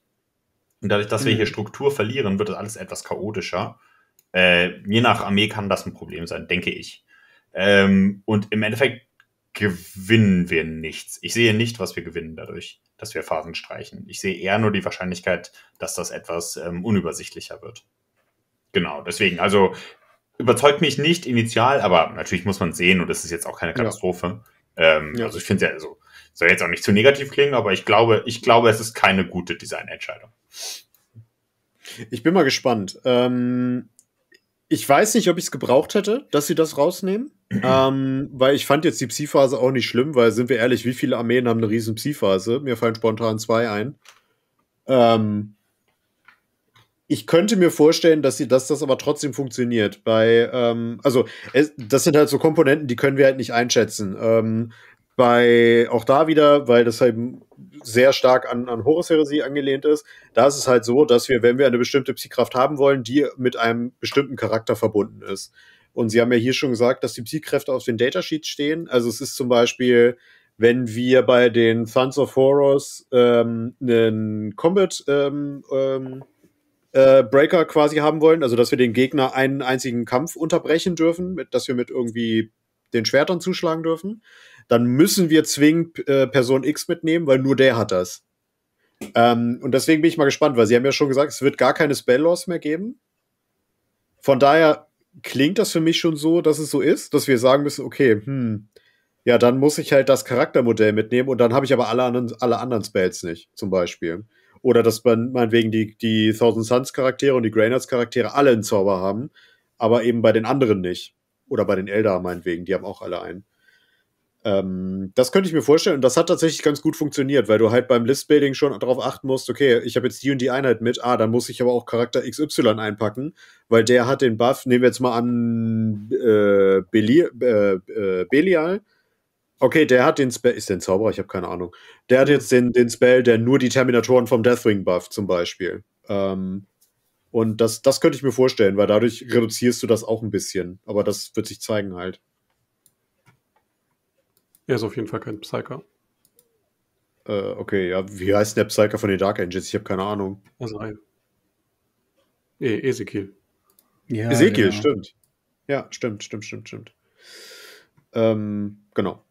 Ansonsten ähm, haben sie noch angekündigt, ähm, dass es eine große Änderung an Fahrzeugen gibt. Ich glaube, es ist die dritte Änderung in drei Editionen. Mhm. äh, und da bin ich gespannt, was ihr davon haltet. Ich habe ja immer gehofft, ich habe alle, alles gekreuzt gehabt, was ich am Körper habe, äh, dass sie bitte wieder Panzerungsprofile zurückbringen für Fahrzeuge, weil das war, das fühlt sich einfach großartig an, meiner Meinung nach. Ich weiß, da bin ich relativ alleine mit. Ähm, aber sie haben sich jetzt dazu entschieden, vor allem die Toughness von Fahrzeugen massiv hochzusetzen.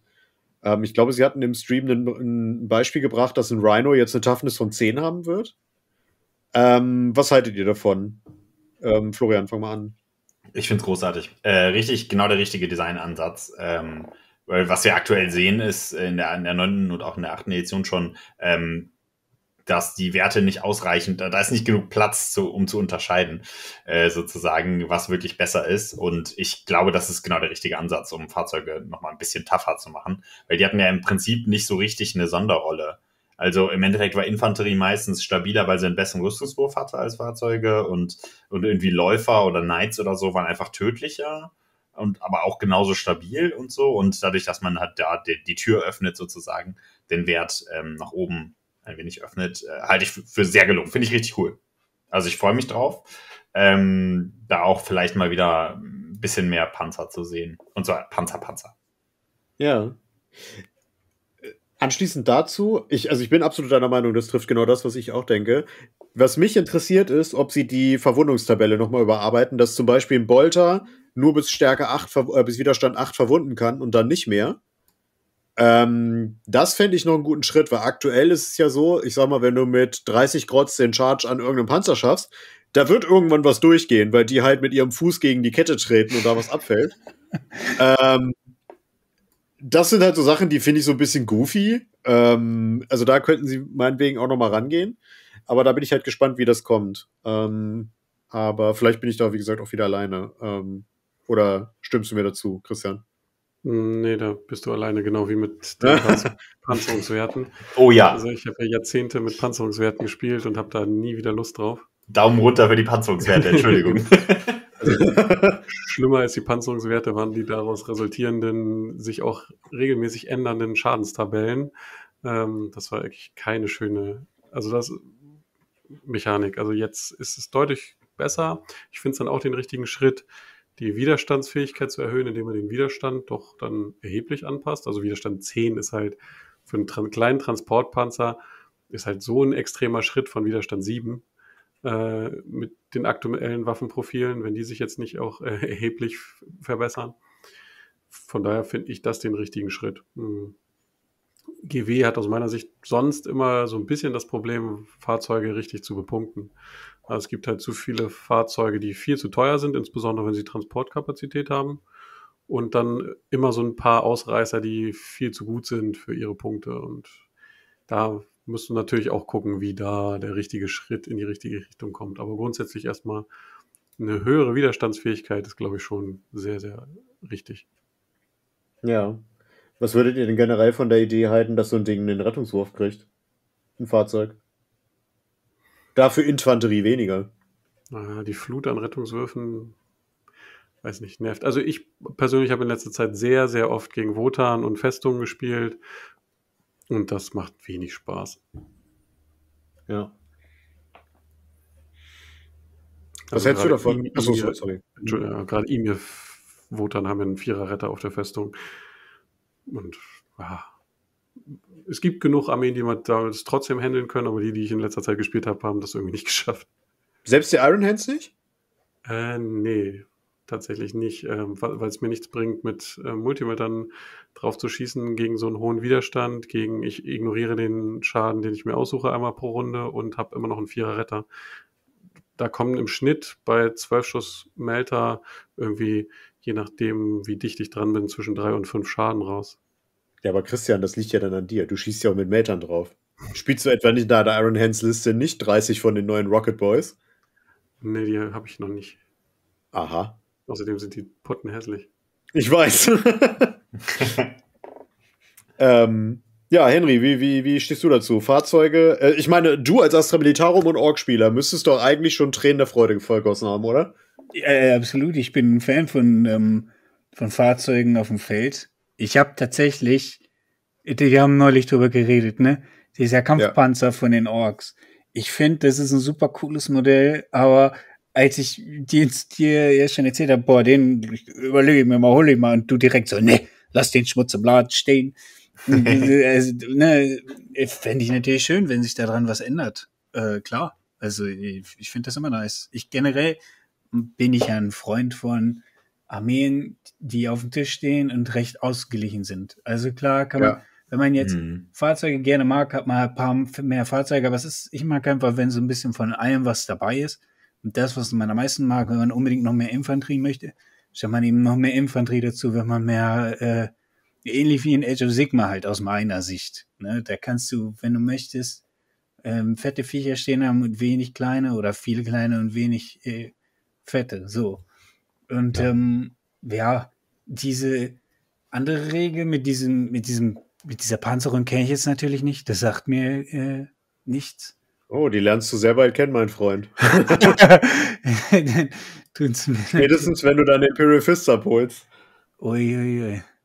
Na, bin gespannt auf jeden Fall. Mhm. Ähm, und ja, wie gesagt, wenn Fahrzeuge besser werden, gerne. Mehr davon. Warum nicht? Also, die sollen natürlich nicht das Nonplusultra sein, das spielen nur noch Fahrzeuge.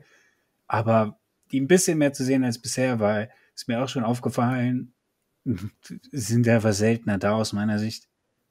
Ein es bisschen, ha? Ja. Es gibt halt ein paar Armeen, die spielen aktiv welche. Christian hatte eben das Beispiel mit Wotan schon genannt. Die würden mir einfallen. Und dann müsste ich schon eher überlegen. Ich meine, Death Guard hat immer noch Plagueburst Crawler mit. Korrigiere mich, wenn ich falsch liege. Meistens ja, Rhinos, gut, jetzt weniger, ja. aber war auch relativ lang.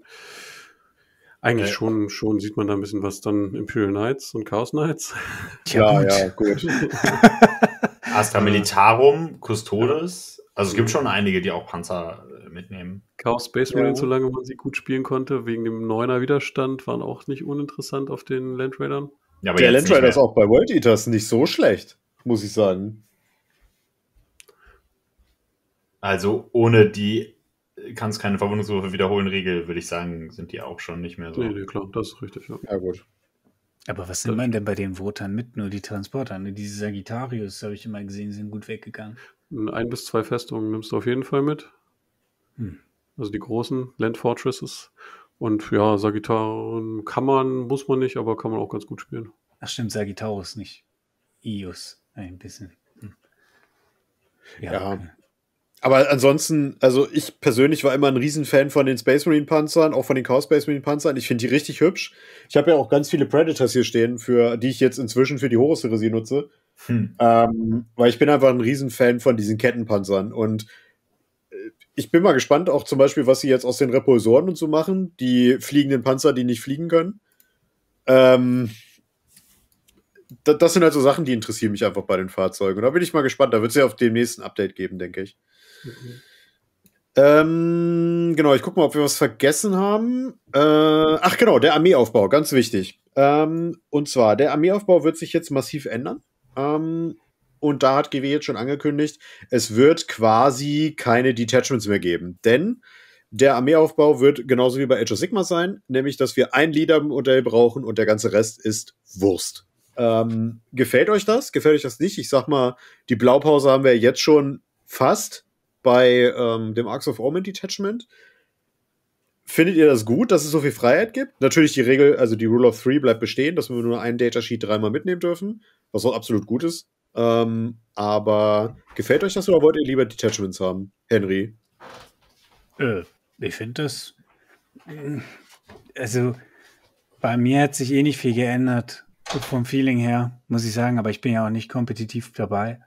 Ähm, wie gesagt, ich persönlich habe immer gern so einen Mix dabei, ähm, aber die Möglichkeit für Leute, naja, ich finde, es ist immer schade, wenn Einheiten einfach nur gespammt werden, dann hast du da nur eine Einheit, die super gut ist und den ähm, ballern die dir alles weg, weil ich finde es halt einfach lame, wenn das Board, da steht immer nur eine Einheit und die kann halt alles. Ich finde es einfach langweilig. Ähm, aber dass man Freiheit hat, da, sich das selber so zusammenzustellen mit dem, was man gerne hätte, finde ich auf jeden Fall gut. Äh, bitte macht Bane Blades spielbar. da kommen wir auch noch zu. Ähm, Christian, Detachments oder No Detachments? Naja, ich bin ja Jurist, von daher mag ich Regeln, ähm, von daher bin ich für Detachments. ähm, nee, ähm, ich sag mal, das hat Henry ja schon angesprochen, wenn es äh, genügend Incentives gibt, ähm, verschiedene Datasheets zu spielen, und das scheint ja so zu sein, kann von mir aus der Aufbau auch relativ frei sein. Aber ich fand jetzt das Detachment-System, äh, insbesondere das Arcs of Omen, was ja auch schon sehr frei ist, gar nicht so verkehrt. Hm. Ja. Florian. Ja, ich bin, äh, äh, finde ich schwierig zu beurteilen, kommt wirklich auf den Gesamtkontext an.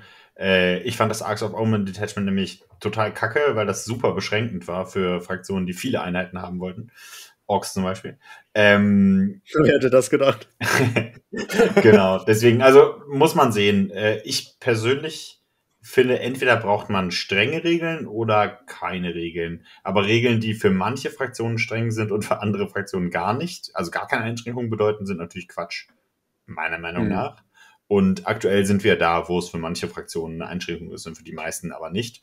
Ähm, das finde ich also nicht so gelungen, das aktuelle System. Eine Änderung scheint mir also sinnvoll. Aber mal sehen, eine super Spam-Liste sind wir uns, glaube ich, alle einig, will niemand sehen. Äh, deswegen mal sehen. Wird aber, glaube ich, ganz cool. Also ich bin eher positiv gestimmt. Ja, muss ich auch sagen. Ähm, genau, das sind so ziemlich die Regeln, die wir bis jetzt haben, meines Wissens nach. Oder habe ich was vergessen? Ähm, bevor wir jetzt nochmal kurz auf den neuen Spielmodus eingehen, ähm, der für uns persönlich wahrscheinlich erstmal nicht so interessant sein wird, aber äh, es gibt einen. Mhm. Ähm, gibt es noch irgendwelche allgemeinen Spielsysteme, die ich vergessen habe oder die wir vergessen haben?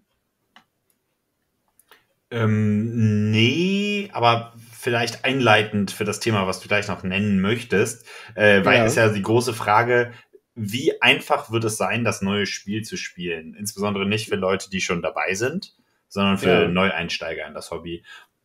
Und das ist ehrlicherweise was, was mich auch groß interessiert, weil ich einige Leute kenne in meinem, in meinem Freundeskreis, die sagen regelmäßig, hey, ich hätte voll Bock, das auch mal zu zocken. Bring mir das mal bei. Und dann sage ich, kein Problem, nimm dir zwei Wochen Urlaub und dann kriegen wir das hin.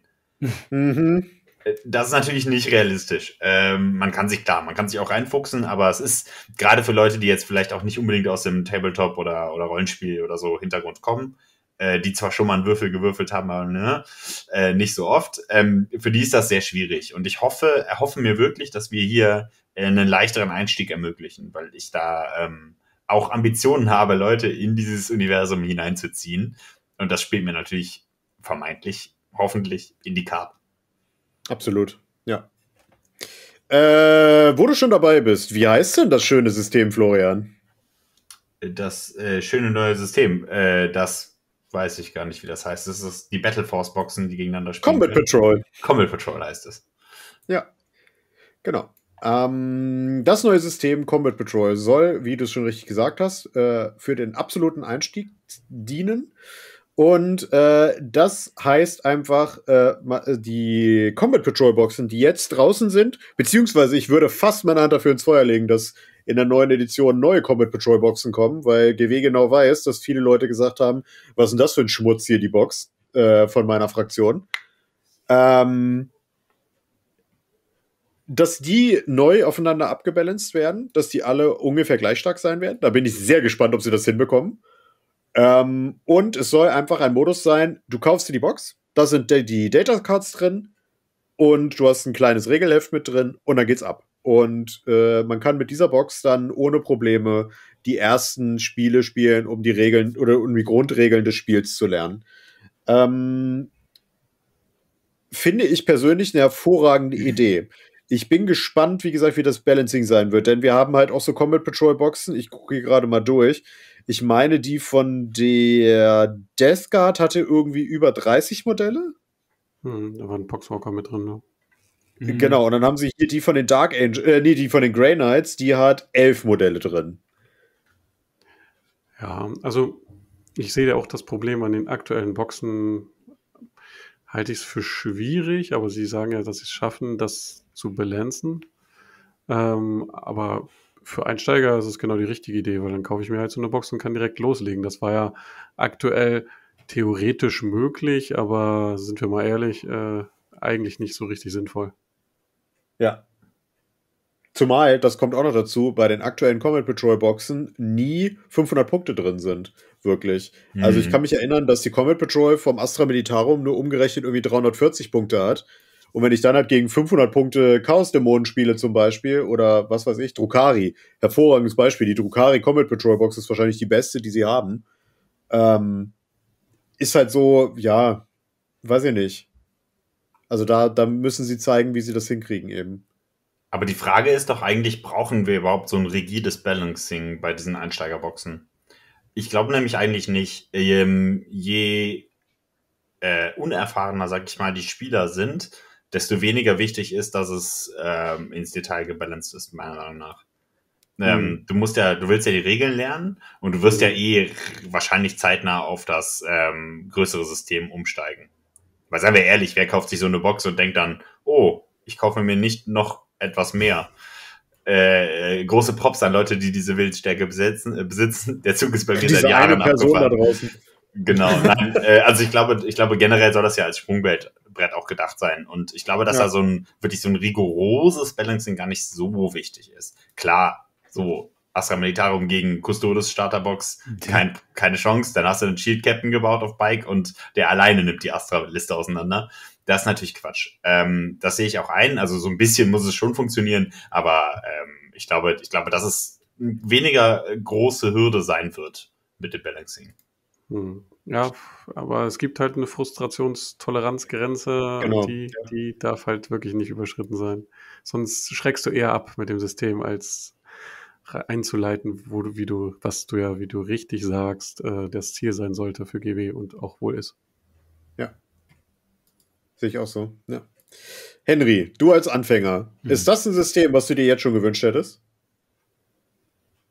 Geht so.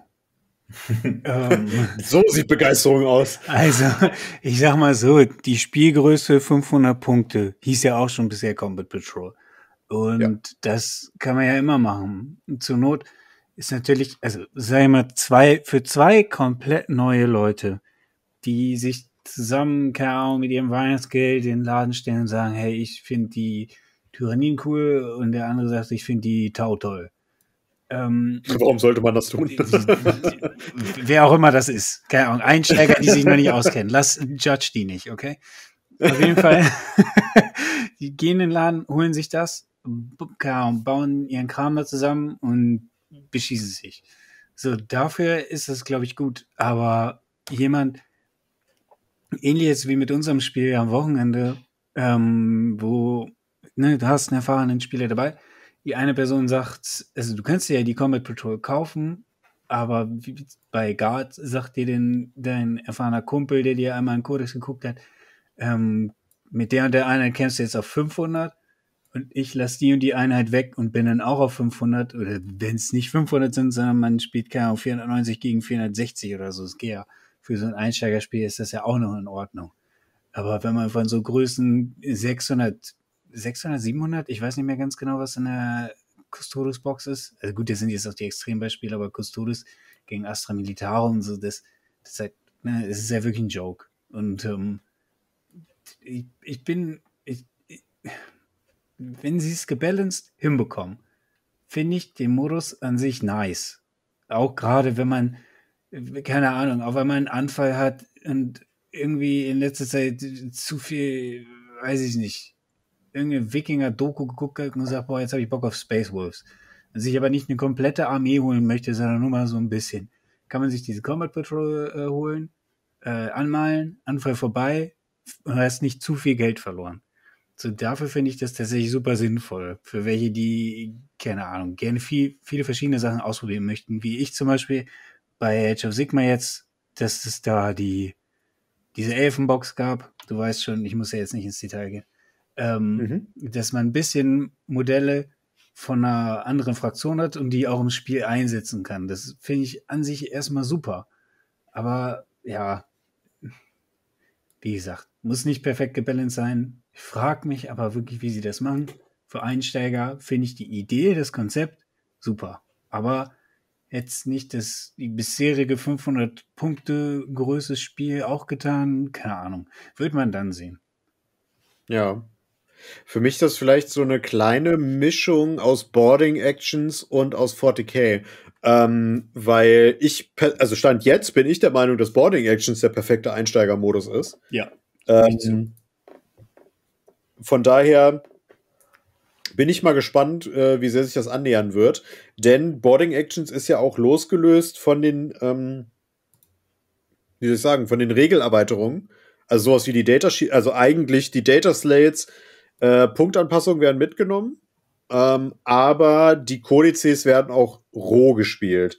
Das wäre so der einzige Kritikpunkt, wo ich sage, also je nachdem, wie es wird, ne? Also wenn sie jetzt den, den Codex-Zyklus so hinkriegen wie bei Age of Sigma, dass alles irgendwo fast auf, äh, äh, bei gleicher Spielstärke Stärke rauskommt, außer ich gucke auf euch, Gloomspite Kids, ähm, dann äh, von mir aus auch mit Buch. Aber wenn es wieder eine, eine Codex-Spirale geben wird, wovon ich fast ausgehe, dann wäre es für mich sogar noch ein positiver Schritt, wenn sie sagen, okay, pass auf, für diesen Spielmodus gar keine Codices. Ihr habt eure Regeln online oder meinetwegen in der App oder wie auch immer. Und die haben ein separates Rule-Set. Äh, das wäre halt auch nicht schlecht, denke ich. Hm, bei Boarding Patrol sehe ich aber das Problem, dass das schon sehr spezielles Gelände braucht, das für Anfänger jetzt nicht so schnell da ist, wenn man sich nicht gerade die Starterbox geholt hat. Ja, das, das stimmt, ist auf jeden ja. Fall der größte Nachteil an dem Modus. Das stimmt leider auf jeden Fall. Nicht nur, dass du es kaufen musst, du musst es auch noch bauen und danach noch zufrieden mit deinem Leben sein. Hm. Das ist tatsächlich das Einzige, wo ich zustimmen würde. Ansonsten ist es toll.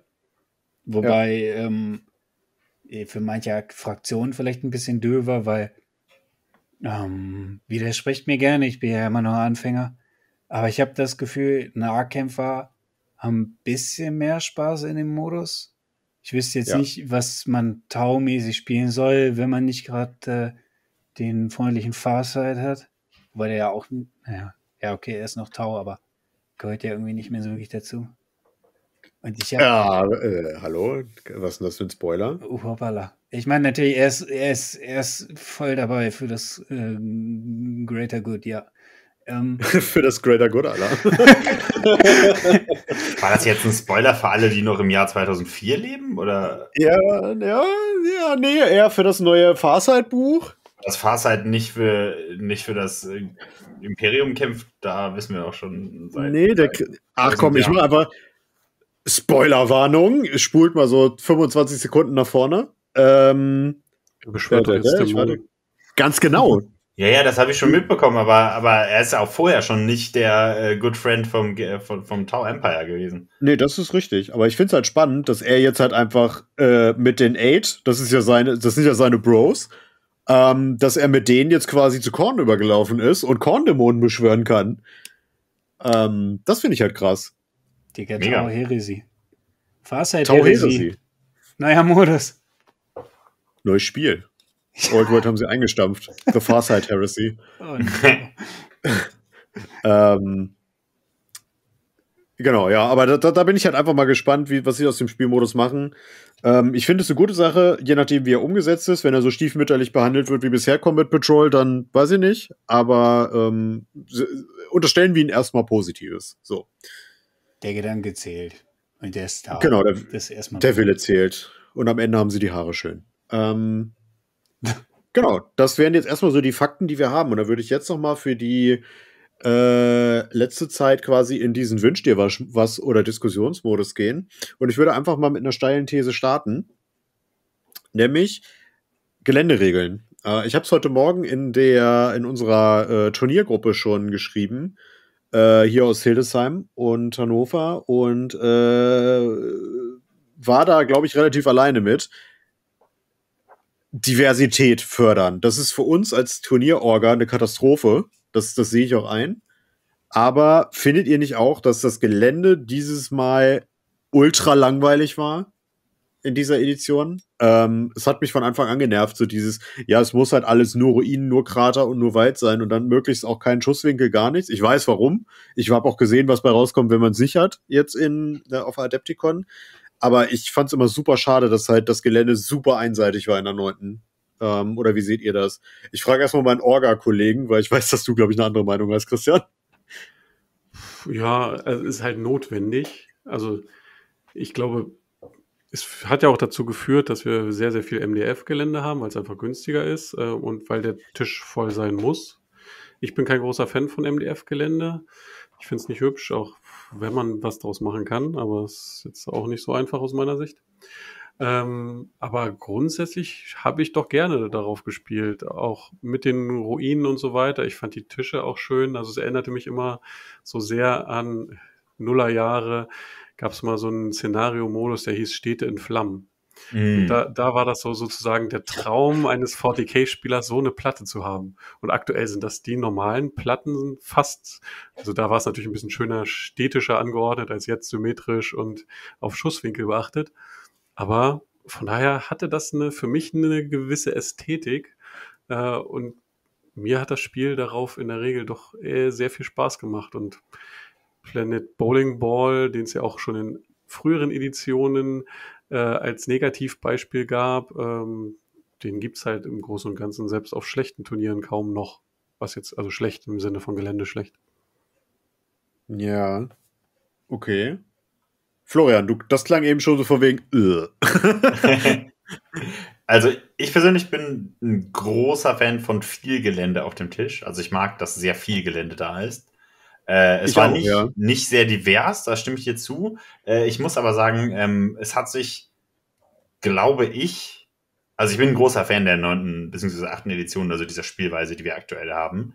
Äh, ich glaube, es hat mir noch nie ein Geländesetup besser gefallen als das, was wir aktuell haben. Okay. Deswegen bin ich eigentlich eher sehr positiv gestimmt, muss ich sagen. Ähm, Genau, nee, also gehe ich auf jeden Fall nicht mit mit deiner mit deiner Steinthese, das stimmt.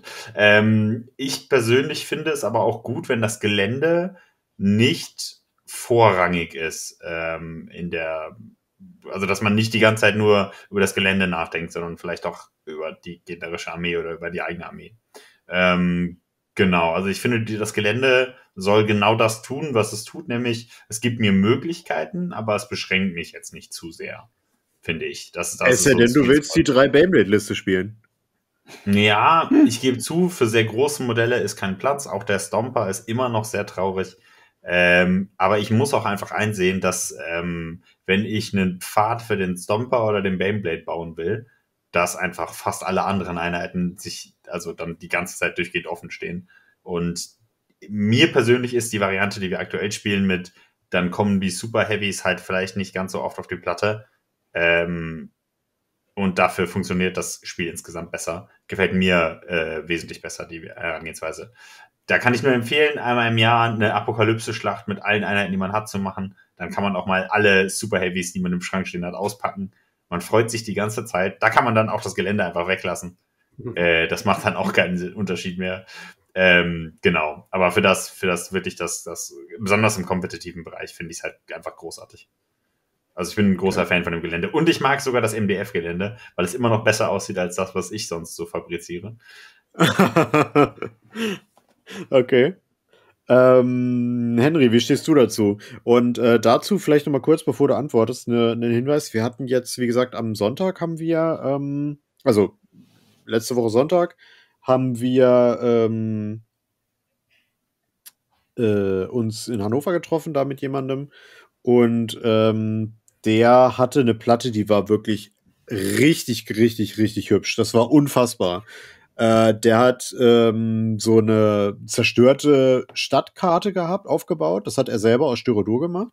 Und hat dann aber auch so Parkanlagen und sowas zerstörte, in Anführungsstrichen, da drin gehabt, wo dann auch Fahrzeuge drin standen oder irgendwelche Barrikaden drin waren. Und das war so, wo ich dachte, oh ja, das vermisse ich. Solche Karten. Also, die war zum Spielen so mittel geeignet. Also, sie hatte Obscuring Gelände, sie hatte Wälder, sie hatte Krater aber eben viel auch noch irgendwelche Plätze, die frei waren. Und da habe ich aber gedacht, so, ah, das Auge ist irgendwie auch mit. Also mir, mir fehlt das so ein bisschen, weil ich finde das nicht hübsch, dass, äh, also ich, ich finde es nicht schlimm, mit dem aktuellen Setup zu spielen. Ich bin das ja auch gewohnt, ähm, genau wie ihr, aber so ein bisschen diese Abwechslung, das fände ich cool. Also wenn man wirklich so Straßenzüge hat oder wenn man dann wirklich so Häuserblocks hat, wo man drum rumlaufen kann oder so weiter. Das, wenn man das da so ein bisschen hintreiben würde, das fände ich richtig cool. Ich habe kein Problem damit, das wieder so zu spielen wie diese Edition, aber ich fände ein bisschen mehr Diversität irgendwie cooler, wenn ich ehrlich bin. Also ja. ich würde dir auf jeden Fall zustimmen, die Platte war echt schön. Das, ähm, und ich meine, wir beide haben an dem Tag Nahkampffraktionen gespielt. Und ja. ob, ich fand, man hatte trotzdem, wenn man ein bisschen aufgepasst hat und seine Hand nicht ständig rausgehalten hat, finde ich, hatte man durchaus die Möglichkeit, noch an die Fernkämpfer ranzukommen. Ähm, hat ja auch geklappt, wir haben gewonnen. Ähm, ja. Aber, also, ich denke, es geht. Äh, ich finde es natürlich toll, äh, sage ich mal, das Gelände als ähm, Spielaspekt zu haben, dass du als Nahkämpfer nicht irgendwie groß im Nachteil bist. Ähm, deswegen, also eine gewisse Regelmäßigkeit drin zu haben, ich sehe auf jeden Fall den Sinn dahinter, gerade im Moment, wo eben mhm. viel, Spiel, äh, viel Schaden im Spiel ist. Ähm, aber ich finde es halt einfach schade. Ich weiß, es ist persönliches Pech, mimimi. Mi, mi. Aber ich finde es halt einfach schade, dass Baneblade momentan halt, ja, dass, dass es sich nicht gut anfühlt, den zu spielen. Ich will nicht sagen, ist nicht spielbar, weil klar kannst du einen Painblade spielen, aber es fühlt sich einfach nicht toll an. Und ähm, die, aus persönlicher Sicht hätte ich da gerne natürlich eine andere Sicht, weil ich den einfach gerne mitnehmen würde. Aber ansonsten finde ich es eigentlich auch, ich sehe da jetzt in, in, sonst nicht groß viele Nachteile an dem Gelände im Moment. Mhm. Einfach mal, äh, ich wurde von meinem besten Freund gebeten, das mal heute mitzubringen und eu mal eure Meinung zu erfragen. Es gibt ja bei Warcry diese Karten, wo ein festes Geländesetup äh, vorgegeben ist. Ähm, die man zieht. Da ist jede Karte, die man zieht, mit einem anderen Geländesetup verteilt. Würdet ihr sowas begrüßen, wenn GW einfach sagt, okay, pass auf, wir haben hier acht verschiedene Geländesetups und die werden dann entsprechend der Mission zugelost. Äh, würdet ihr sowas begrüßen? Oder würdet ihr sagen, äh, dann ist es ja wahrscheinlich so, hm. ähm, fang mal an, äh, Florian. Nee, finde ich nicht gut. okay. Also das würde halt ähm, so ein bisschen die Kreativität ähm, reduzieren. Also im, im, Turnierbereich sehen wir sowas ja im Prinzip auch schon. Ne? Da haben wir meistens ja festgesetzte Terrain-Sets. Äh, also zumindest auf den etwas größeren Turnieren. Und ähm, für ein Turnierspiel finde ich das gut aber ähm, ich sehe nicht die Notwendigkeit ähm, für, ich sag mal, auch für Matchplay oder narratives Spiel, narrativ ist ja sowieso komplett frei, aber auch für Matchplay, ähm, zu Hause mich da so Beschränkungen zu unterwerfen. Okay. Halte ich nicht für notwendig. Ich sehe aber auch aktuell nicht so ein großes Problem mit dem Gelände, ehrlicherweise. Hm. Christian. Hm, sehe ich so wie Florian. Das Einzige, was ich noch ergänzen kann, ist, dass ich äh, sowieso nur äh, nach Geländesetups in irgendeiner Art und Weise spiele. Äh, aber ich finde es halt gut, dass es da verschiedene gibt und ich mich dann auch immer noch daran orientieren kann, welches gefällt mir jetzt am besten. Das ist das von Alliance Armory, ist das von Breaking Heads, vom Bamble Cup, von wem auch immer. Und da, dass ich halt zwar schon aus festen Setups was ausruhen kann, aber dann doch immer noch dem Stand des Spiels entsprechend die richtige Menge an Gelände je nach Setup mir dann raussuchen kann. Mhm, ja. Henry, wie siehst du das? Du warst ja dabei, als er das gefragt hat. Naja, für Turniere macht es auf jeden Fall Sinn. Und ähm, also generell festes Setup. Äh, und dann auch so ein bisschen Abwechslung reinzubringen, dass es nicht immer genau das eine ist. Sondern wenigstens äh, ist auch immer die Frage, wie viel verschiedene ähm, man denn zur Auswahl haben könnte. Muss man denn Mhm. auch noch mit äh, bedenken. Aber an sich, so für Turniere finde ich es auf jeden Fall sinnvoll. Fände ich eine coole Idee. Man kann es auf jeden Fall mal ausprobieren. Wenn es nicht funktioniert, dann ändert man es halt wieder. Um, und für so Casual-Spiele zu Hause ist ja eh egal. Also, da muss man ja im Zweifelsfall nicht mal losen, sondern man sagt sich einfach, man einigt sich einfach vorher, hey, das fände ich heute schön, aus den und den Gründen, lass doch mal das machen. Oder man macht einfach komplett was anderes oder keine Ahnung, man nimmt einfach das, was man hat. Also, keine Ahnung, ist ja jedem selbst überlassen. Also ich glaube letztendlich spielt das wahrscheinlich keine so große Rolle.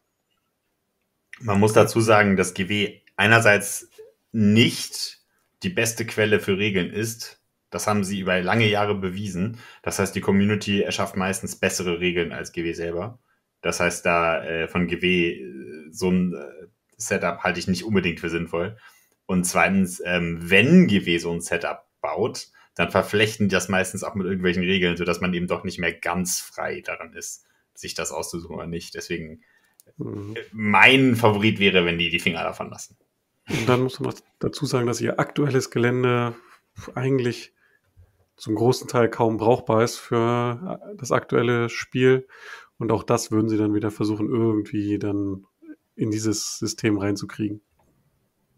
Das mit diesen Geländeplatten mit den großen Bases.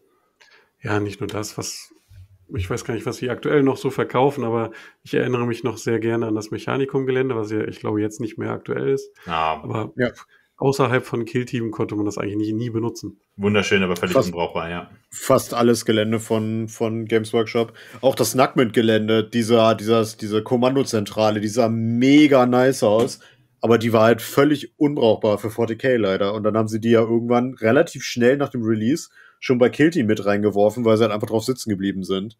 Oder diese Schützengräben. Ich, äh, Ja, genau. Defense, äh, grauenhaft zu bespielen, grauenhaft, wirklich. Das schlechteste Gelände, was man bauen kann. Ja. Fürs Spiel. Optisch wundervoll. Ja, ja, genau, der Gun, der, der, der Tidewall von den Tau ist halt auch so ein Ding, ne? Das habe ich, glaube ich, noch nie auf einer Platte gesehen. Tja. Ähm, genau. Stimmt. Okay, das. Ja. Jetzt, wo du sagst, ist mir auch gerade so aufgefallen. Das stand auch, glaube ich, immer noch, obwohl das vor längerer Zeit rausgekommen ist, stand das auch immer noch länger in den Läden, war meine Beobachtung. Oh, hier haben wir jemanden mit internen Infos. Ähm, ja, kommen wir mal schnell weiter. Ähm, Henry, mach mal weiter. Was wäre denn so dein großer Wunsch für die 10. Edition? Was sie vielleicht ändern, was sie vielleicht beibehalten sollen oder überhaupt irgendwas völlig frei aus der Luft gegriffen ist? Ähm, genau. Puh. Ähm, da brauche ich, glaube ich, ein bisschen länger. Mach ruhig erstmal den nächsten. Ich habe da tatsächlich mir bisher noch nicht so viel Okay. Gedanken drüber gemacht. Okay. Dann Christian, rette die Situation. Mhm. Also für mich wäre es wichtig, wenn sie so den allgemeinen Status des Spiels, den die neunte Edition gebracht hat, irgendwie äh, am Leben erhalten, weil so balanciert im Großen und Ganzen, wie es jetzt war, war es aus meiner Sicht nie. Ähm, und das Spiel hat auch mit vielen Fraktionen immer noch Spaß gemacht, selbst äh, mit denen, die nicht so gut dran waren. Und wenn sie das erhalten können und nicht durch jetzt so einen komplett Reboot wieder dahin verfallen, dass wir erstmal sehr, sehr große Fraktionsunterschiede haben, also noch größer als die, die jetzt immer noch gab, aber im Großen und Ganzen, wie gesagt, fand ich das Spiel in seinem aktuellen Status doch mit das beste 40k, was ich je gespielt habe. Kann es sich aber auch einfach Stand jetzt auch daran liegen, dass einfach alle Kodizes draußen sind? Naja, solche Situationen gab es schon immer mal, aber ich weiß nicht, es gab zu oft äh, zu starke Fraktionen und das haben sie jetzt auch immer relativ zeitnah angefasst, auch wenn es seine Nachteile hat, die haben wir auch alle in anderen Podcasts schon besprochen, wenn alle Ja. sechs Monate so ein neues äh, Szenario-Setup und neue Regeln kommen in, oder etwas grundle grundlegend oder nicht so grundlegend ändern. Aber dadurch war es halt immer, dass zu gute Fraktionen angepasst wurde, wurden. Und Das hat mir sehr gut gefallen. Okay. Florian. Ähm, ich hatte es eben schon ein bisschen ähm, anklingen lassen. Also ich wünsche mir, dass der Zugang zum Spiel, gerade für Neueinsteiger, äh, also Menschen, die neu dabei sind, ähm, dass das leichter wird. Oder Menschen, die interessiert sind. Das, das ist auf jeden Fall meine, meine große Hoffnung äh, für das Spiel. Und ähm, genau, also ansonsten äh, hättest du mich vor dieser, dieser Release-Welle gefragt, hätte ich gesagt, meine Hoffnung ist, dass sie das Spiel nicht zu krass versimplifizieren. Ähm, mhm. Das scheint aber jetzt, was wir sehen nach den allerersten Ankündigungen, ähm, scheint nicht der Fall zu sein. Deswegen, da bin ich beruhigt. Ähm, da, den Wunsch kann ich quasi streichen von meiner Wunschliste. Ähm, und ansonsten kann ich mich da aber auch Christian noch anschließen. Ähm, ich finde den aktuellen Game State wirklich ähm, super gut, äh, so gut wie noch nie, bin ich auch da, der Meinung. Und ähm, habe ein wenig, also ich bin eigentlich ziemlich sicher, dass sie das in der 10. Edition wieder über Bord schmeißen. Äh, die Indizes, äh, Indexzeit am Anfang wird super und sobald dann so drei, vier, fünf Kodizes draußen sind, ist alles wieder im Eimer. Ganz sicher, weil das kann gar nicht anders sein. Ähm, das, das so funktioniert das Konzept mit den Kodizes leider. Deswegen, ähm, ich würde mir wünschen, es wäre nicht so, aber da sind meine Aussichten leider tief schwarz. Okay. Wieder ein Kaffee. Ah. oh. Ähm, Henry, hast du was gefunden oder soll ich zuerst? Mm, also, Balancing natürlich, ne, kann ich mich nur anschließen, dass das äh, angenehm bleibt, wäre natürlich wünschenswert. Auch den Einstieg äh, für neue Leute. Ich habe auch einen Kumpel, den überrede ich immer schon mal wieder. Ähm, aber er meint zumindest auch, dass er bis Sommer warten will, bis zur neuen Edition. Ähm, muss er selber wissen. Ähm, Ah ja, ich finde es auf jeden Fall schön. Ich finde neue Miniaturen immer gut, aber ich fände es gut, wenn einem das leichter gemacht wird, ähm, die behalten zu können. Also so andere Basegröße, okay, kann man vielleicht noch mit arbeiten. Und ich verstehe auch, dass man neue Sachen äh, verkaufen will. In der Regel denke ich mir aber immer, schafft man das allein schon dadurch, dass die neuen Sachen einfach besser aussehen. Ja, ich finde es nett, wenn den Spielern, die ihre Figuren halt eben schon haben, der Zeit reingesteckt haben, ähm, mit denen schon auf Turniere gegangen sind, bla bla, dass sie denen halt bleiben können und dann ähm, ja, sie die nicht ersetzen müssen. Und lore-mäßig fände ich es cool. Also klar, Space Marines gerne. Äh, die sollen jetzt nicht abgeschafft werden, so soll das jetzt nicht klingen, aber gerade das mit dem Chaos gegen Tau zum Beispiel, klar sind da auch Chaos Space Marines in dem Fall dabei, aber ähm, jetzt hier dieses ähm, Farsight-Buch, was man bisher. Ja, Spoiler-Part. 25 ja, Sekunden spulen. Nein, nein, nein, das ist ja gar nicht unbedingt Spoiler, aber ähm, auch von der Hintergrundgeschichte, dass einfach mal eine Xenos-Fraktion mehr in den Vordergrund gerückt wird. Ähm, jetzt mal abgesehen vom Spiel, zum Beispiel, ähm, es gab ja damals dieses ähm, äh, Fire Warrior hieß das, glaube ich, dieses Tau-Spiel, wo du, was so ein bisschen ähnlich wie Halo aufgebaut war. Man hat halt einfach. Oh ja, ich erinnere mich. Genau, man hat halt ein Tau gespielt. Aber auch wenn es in dem Spiel eigentlich um die Tau ging, war am Ende der krasse, der den Tag gerettet hat, wieder irgendein Ultramarine. Und ich finde es einfach mal cool, wenn Xenos auch ein bisschen, weil Space Marines sind toll und Space Marines haben viel Lore, aber ich finde, auch andere haben ein bisschen mehr Lore verdient. Und wenn man da ein bisschen mehr, wenn aber mal Xenos ein bisschen Liebe abbekommen können, da würde ich mich drüber freuen. Hast du schon mal äh, Shooters Blood and Tief gespielt? Nee, das sagt mir gerade nichts. Äh, das ist ein Metal Slug Shooter. Es ist komplett off-topic, aber das muss raus. Äh, das ist ein Metal Slug Shooter, wo du einen Ork, äh, einen Orkboy spielst, der mit den Arbeitsbedingungen mit seinem Boss nicht zufrieden ist, dann seinen Boss umnietet und dann anfängt, seinen eigenen Wag zu gründen und irgendwann vom Planeten abzuhauen, um die Galaxis zu beherrschen. das ist großartig. Metal Slug Shooter sind eigentlich immer ganz angenehm zwischendurch. Das ist richtig witzig und das ist halt mit, mit Warhammer Orks. Das ist ziemlich cool. Haben die die offizielle Lizenz? Ja. Krass. Okay, dann muss ich mir das echt mal angucken.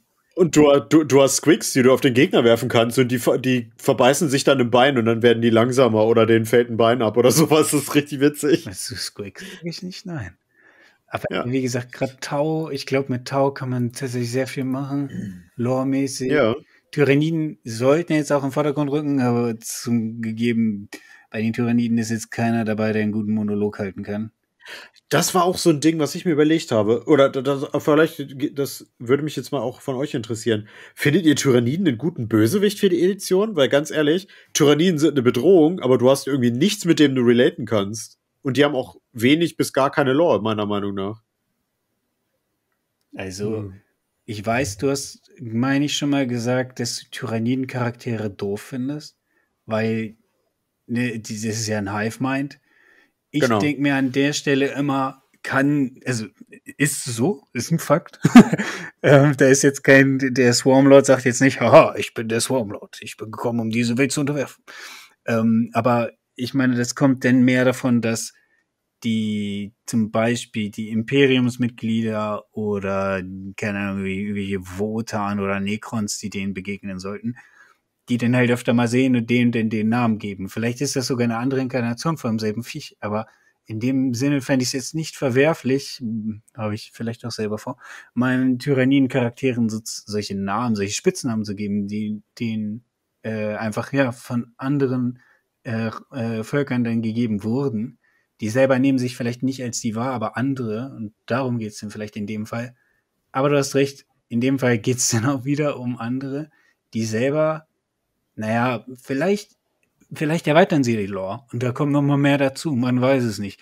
Aber motivationsmäßig sind die halt wirklich mehr nur so, wir, wir essen gerne. Ja. Christian, du hattest eben auch angesetzt. Ja, genau das gleiche. Und bis jetzt ist es ja auch ganz interessant, dass es da noch so viel gibt, was man nicht weiß, wie wie im Dunkeln des Universums, was da noch alles auf uns zukommt. Aber ich würde jetzt nicht behaupten, dass die keine Lore haben. Oder wenig. Okay. Florian? Ähm, also ich mag diesen Cosmic Horror Ansatz eigentlich ganz gerne. Ähm, dass sie so unnahbar sind, weil nicht nachvollziehbar, weil halt nicht menschlich sozusagen. Ähm, ich verstehe die Kritik aber, dass da das weniger zu personalisieren ist. Ähm, aber ich sehe da auch viel Potenzial. Also ich glaube, da könnte noch viel dran geschehen. Ist halt die Frage, ob es passiert. Aber also der Vergleich, der sich mir aufdrängt, ist auf jeden Fall StarCraft. Und mit der Königin der Klingen haben wir eine fantastische Charakterentwicklung. Kerrigan ist cool, ja. Und ich glaube, man bräuchte ja nicht viel, aber man bräuchte ein bisschen was. Ähm, das, das sehe ich auch so. Aber andererseits, also ich lehre, also wenn wir uns das Lovecraftian äh, äh, Cosmic Horror Universum angucken, äh, das funktioniert auch gut. Und das sind auch alles nur völlig unnahbare göttliche Wesen sozusagen. Ich finde das cool, dass wir eine Bedrohung haben, die nicht, äh, also die vielleicht sogar eine realistische Bedrohung ist.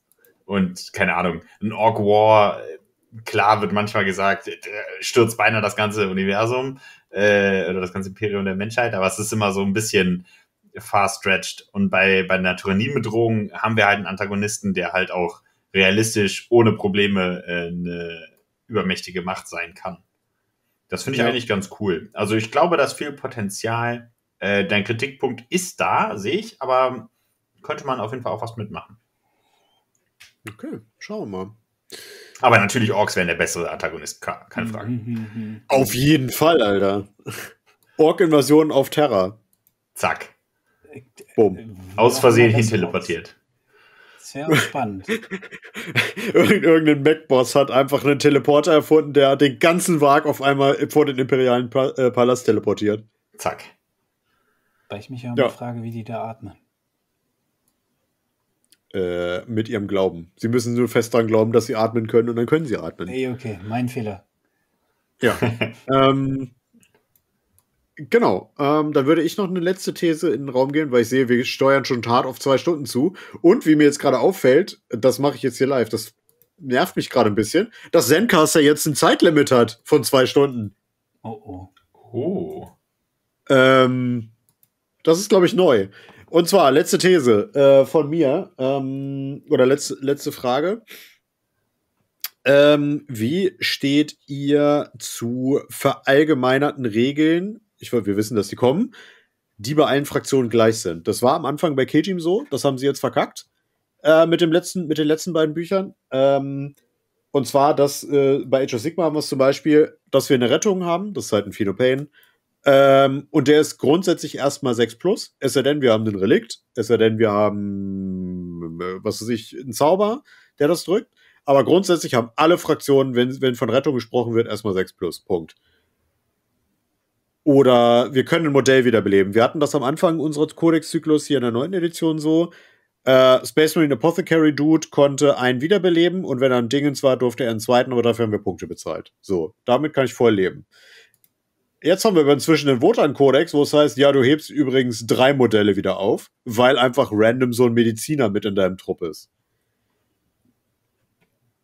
Findet ihr, dass da die Regeln gestreamlined werden sollten, dass es einfach heißt, okay, pass auf, du darfst wiederbeleben, alle Bücher haben die gleiche Fähigkeit, was wieder zu beleben, wenn sie eine Medic dabei haben.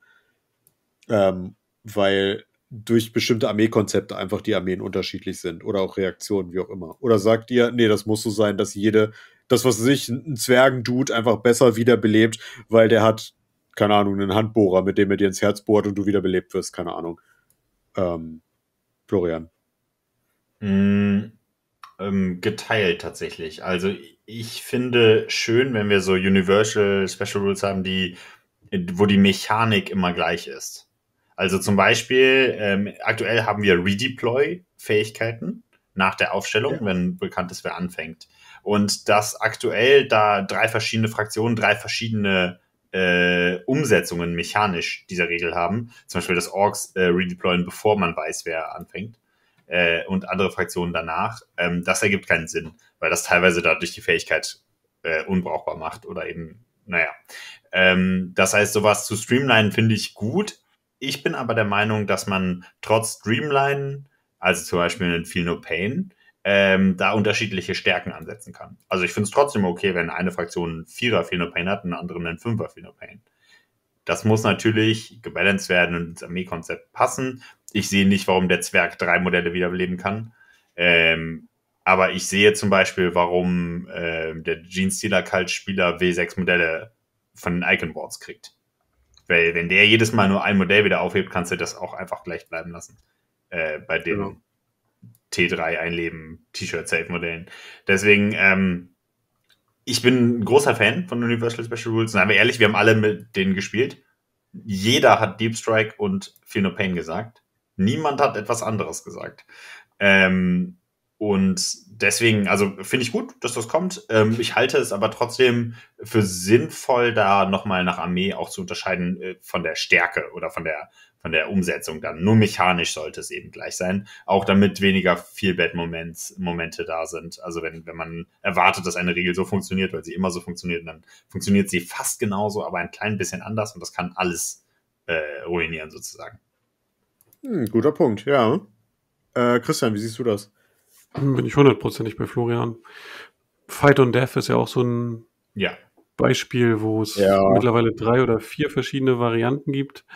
Und das ist halt absolut nicht nachvollziehbar auch an einigen Stellen. Von daher, ich sehe es genauso wie Florian, würde ich komplett unterstreichen, was er gesagt hat. Ja. Henry. Ja. Keine.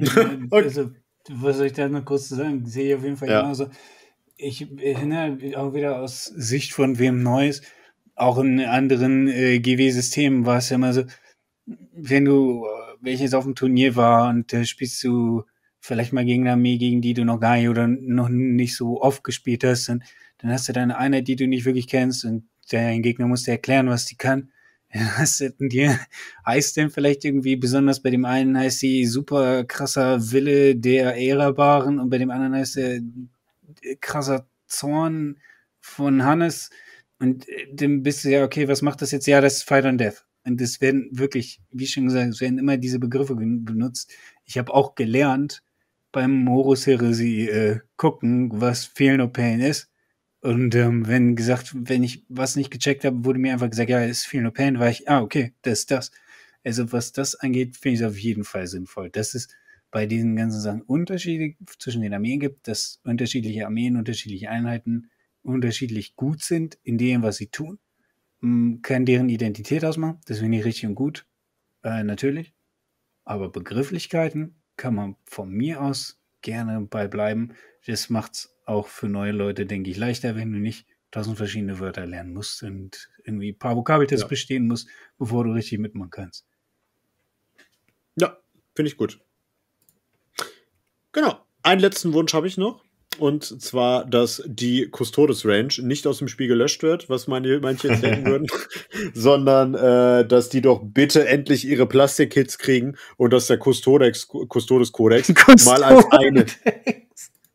Custodex, ja. Äh, dass der bitte als eins mal funktioniert und dass die nicht äh, eine halbe Range noch bei Forge haben und eine halbe Range in ihrem Buch haben, wo dann die Hälfte nur drin ist an Einheiten. Ja, bitte. Äh, weil die fühlen sich einfach für mich nicht so an, als wenn die schon hundertprozentig im 40k angekommen sind. Ähm, ich glaube, da, da werden viele Custode-Spieler auch sagen, ja, bitte Plastik und ja, bitte alles in einem Buch. Ja. Okay. Einen letzten Wunsch haben wir natürlich alle noch, denn wir wissen, oder wenn euch dieser Podcast gefallen hat, dann äh, lasst uns doch gerne die verdiente 5-Sterne-Bewertung bei Apple, bei Spotify, bei Deezer und wie sie alle heißen da. Abonniert den Kanal, wenn ihr das auf YouTube gehört und gesehen habt. Ähm, aktiviert die Glocke, wenn ihr nichts mehr verpassen wollt. Und schreibt uns unbedingt mal in die Kommentare, was ihr von den aktuellen Ankündigungen der neunten Edition von Warhammer 40k haltet. Ähm, was ihr euch wünschen würdet, das würde mich auch sehr interessieren.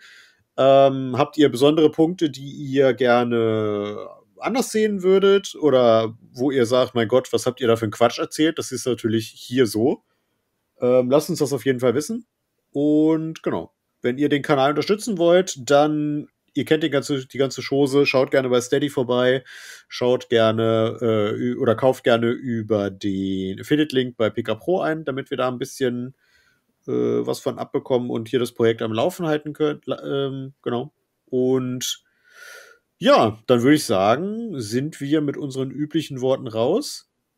Tschö mit Ö, ciao mit V und bye mit Ei. Ciao. Tschö, tschö. Bis dann. Wir sind raus.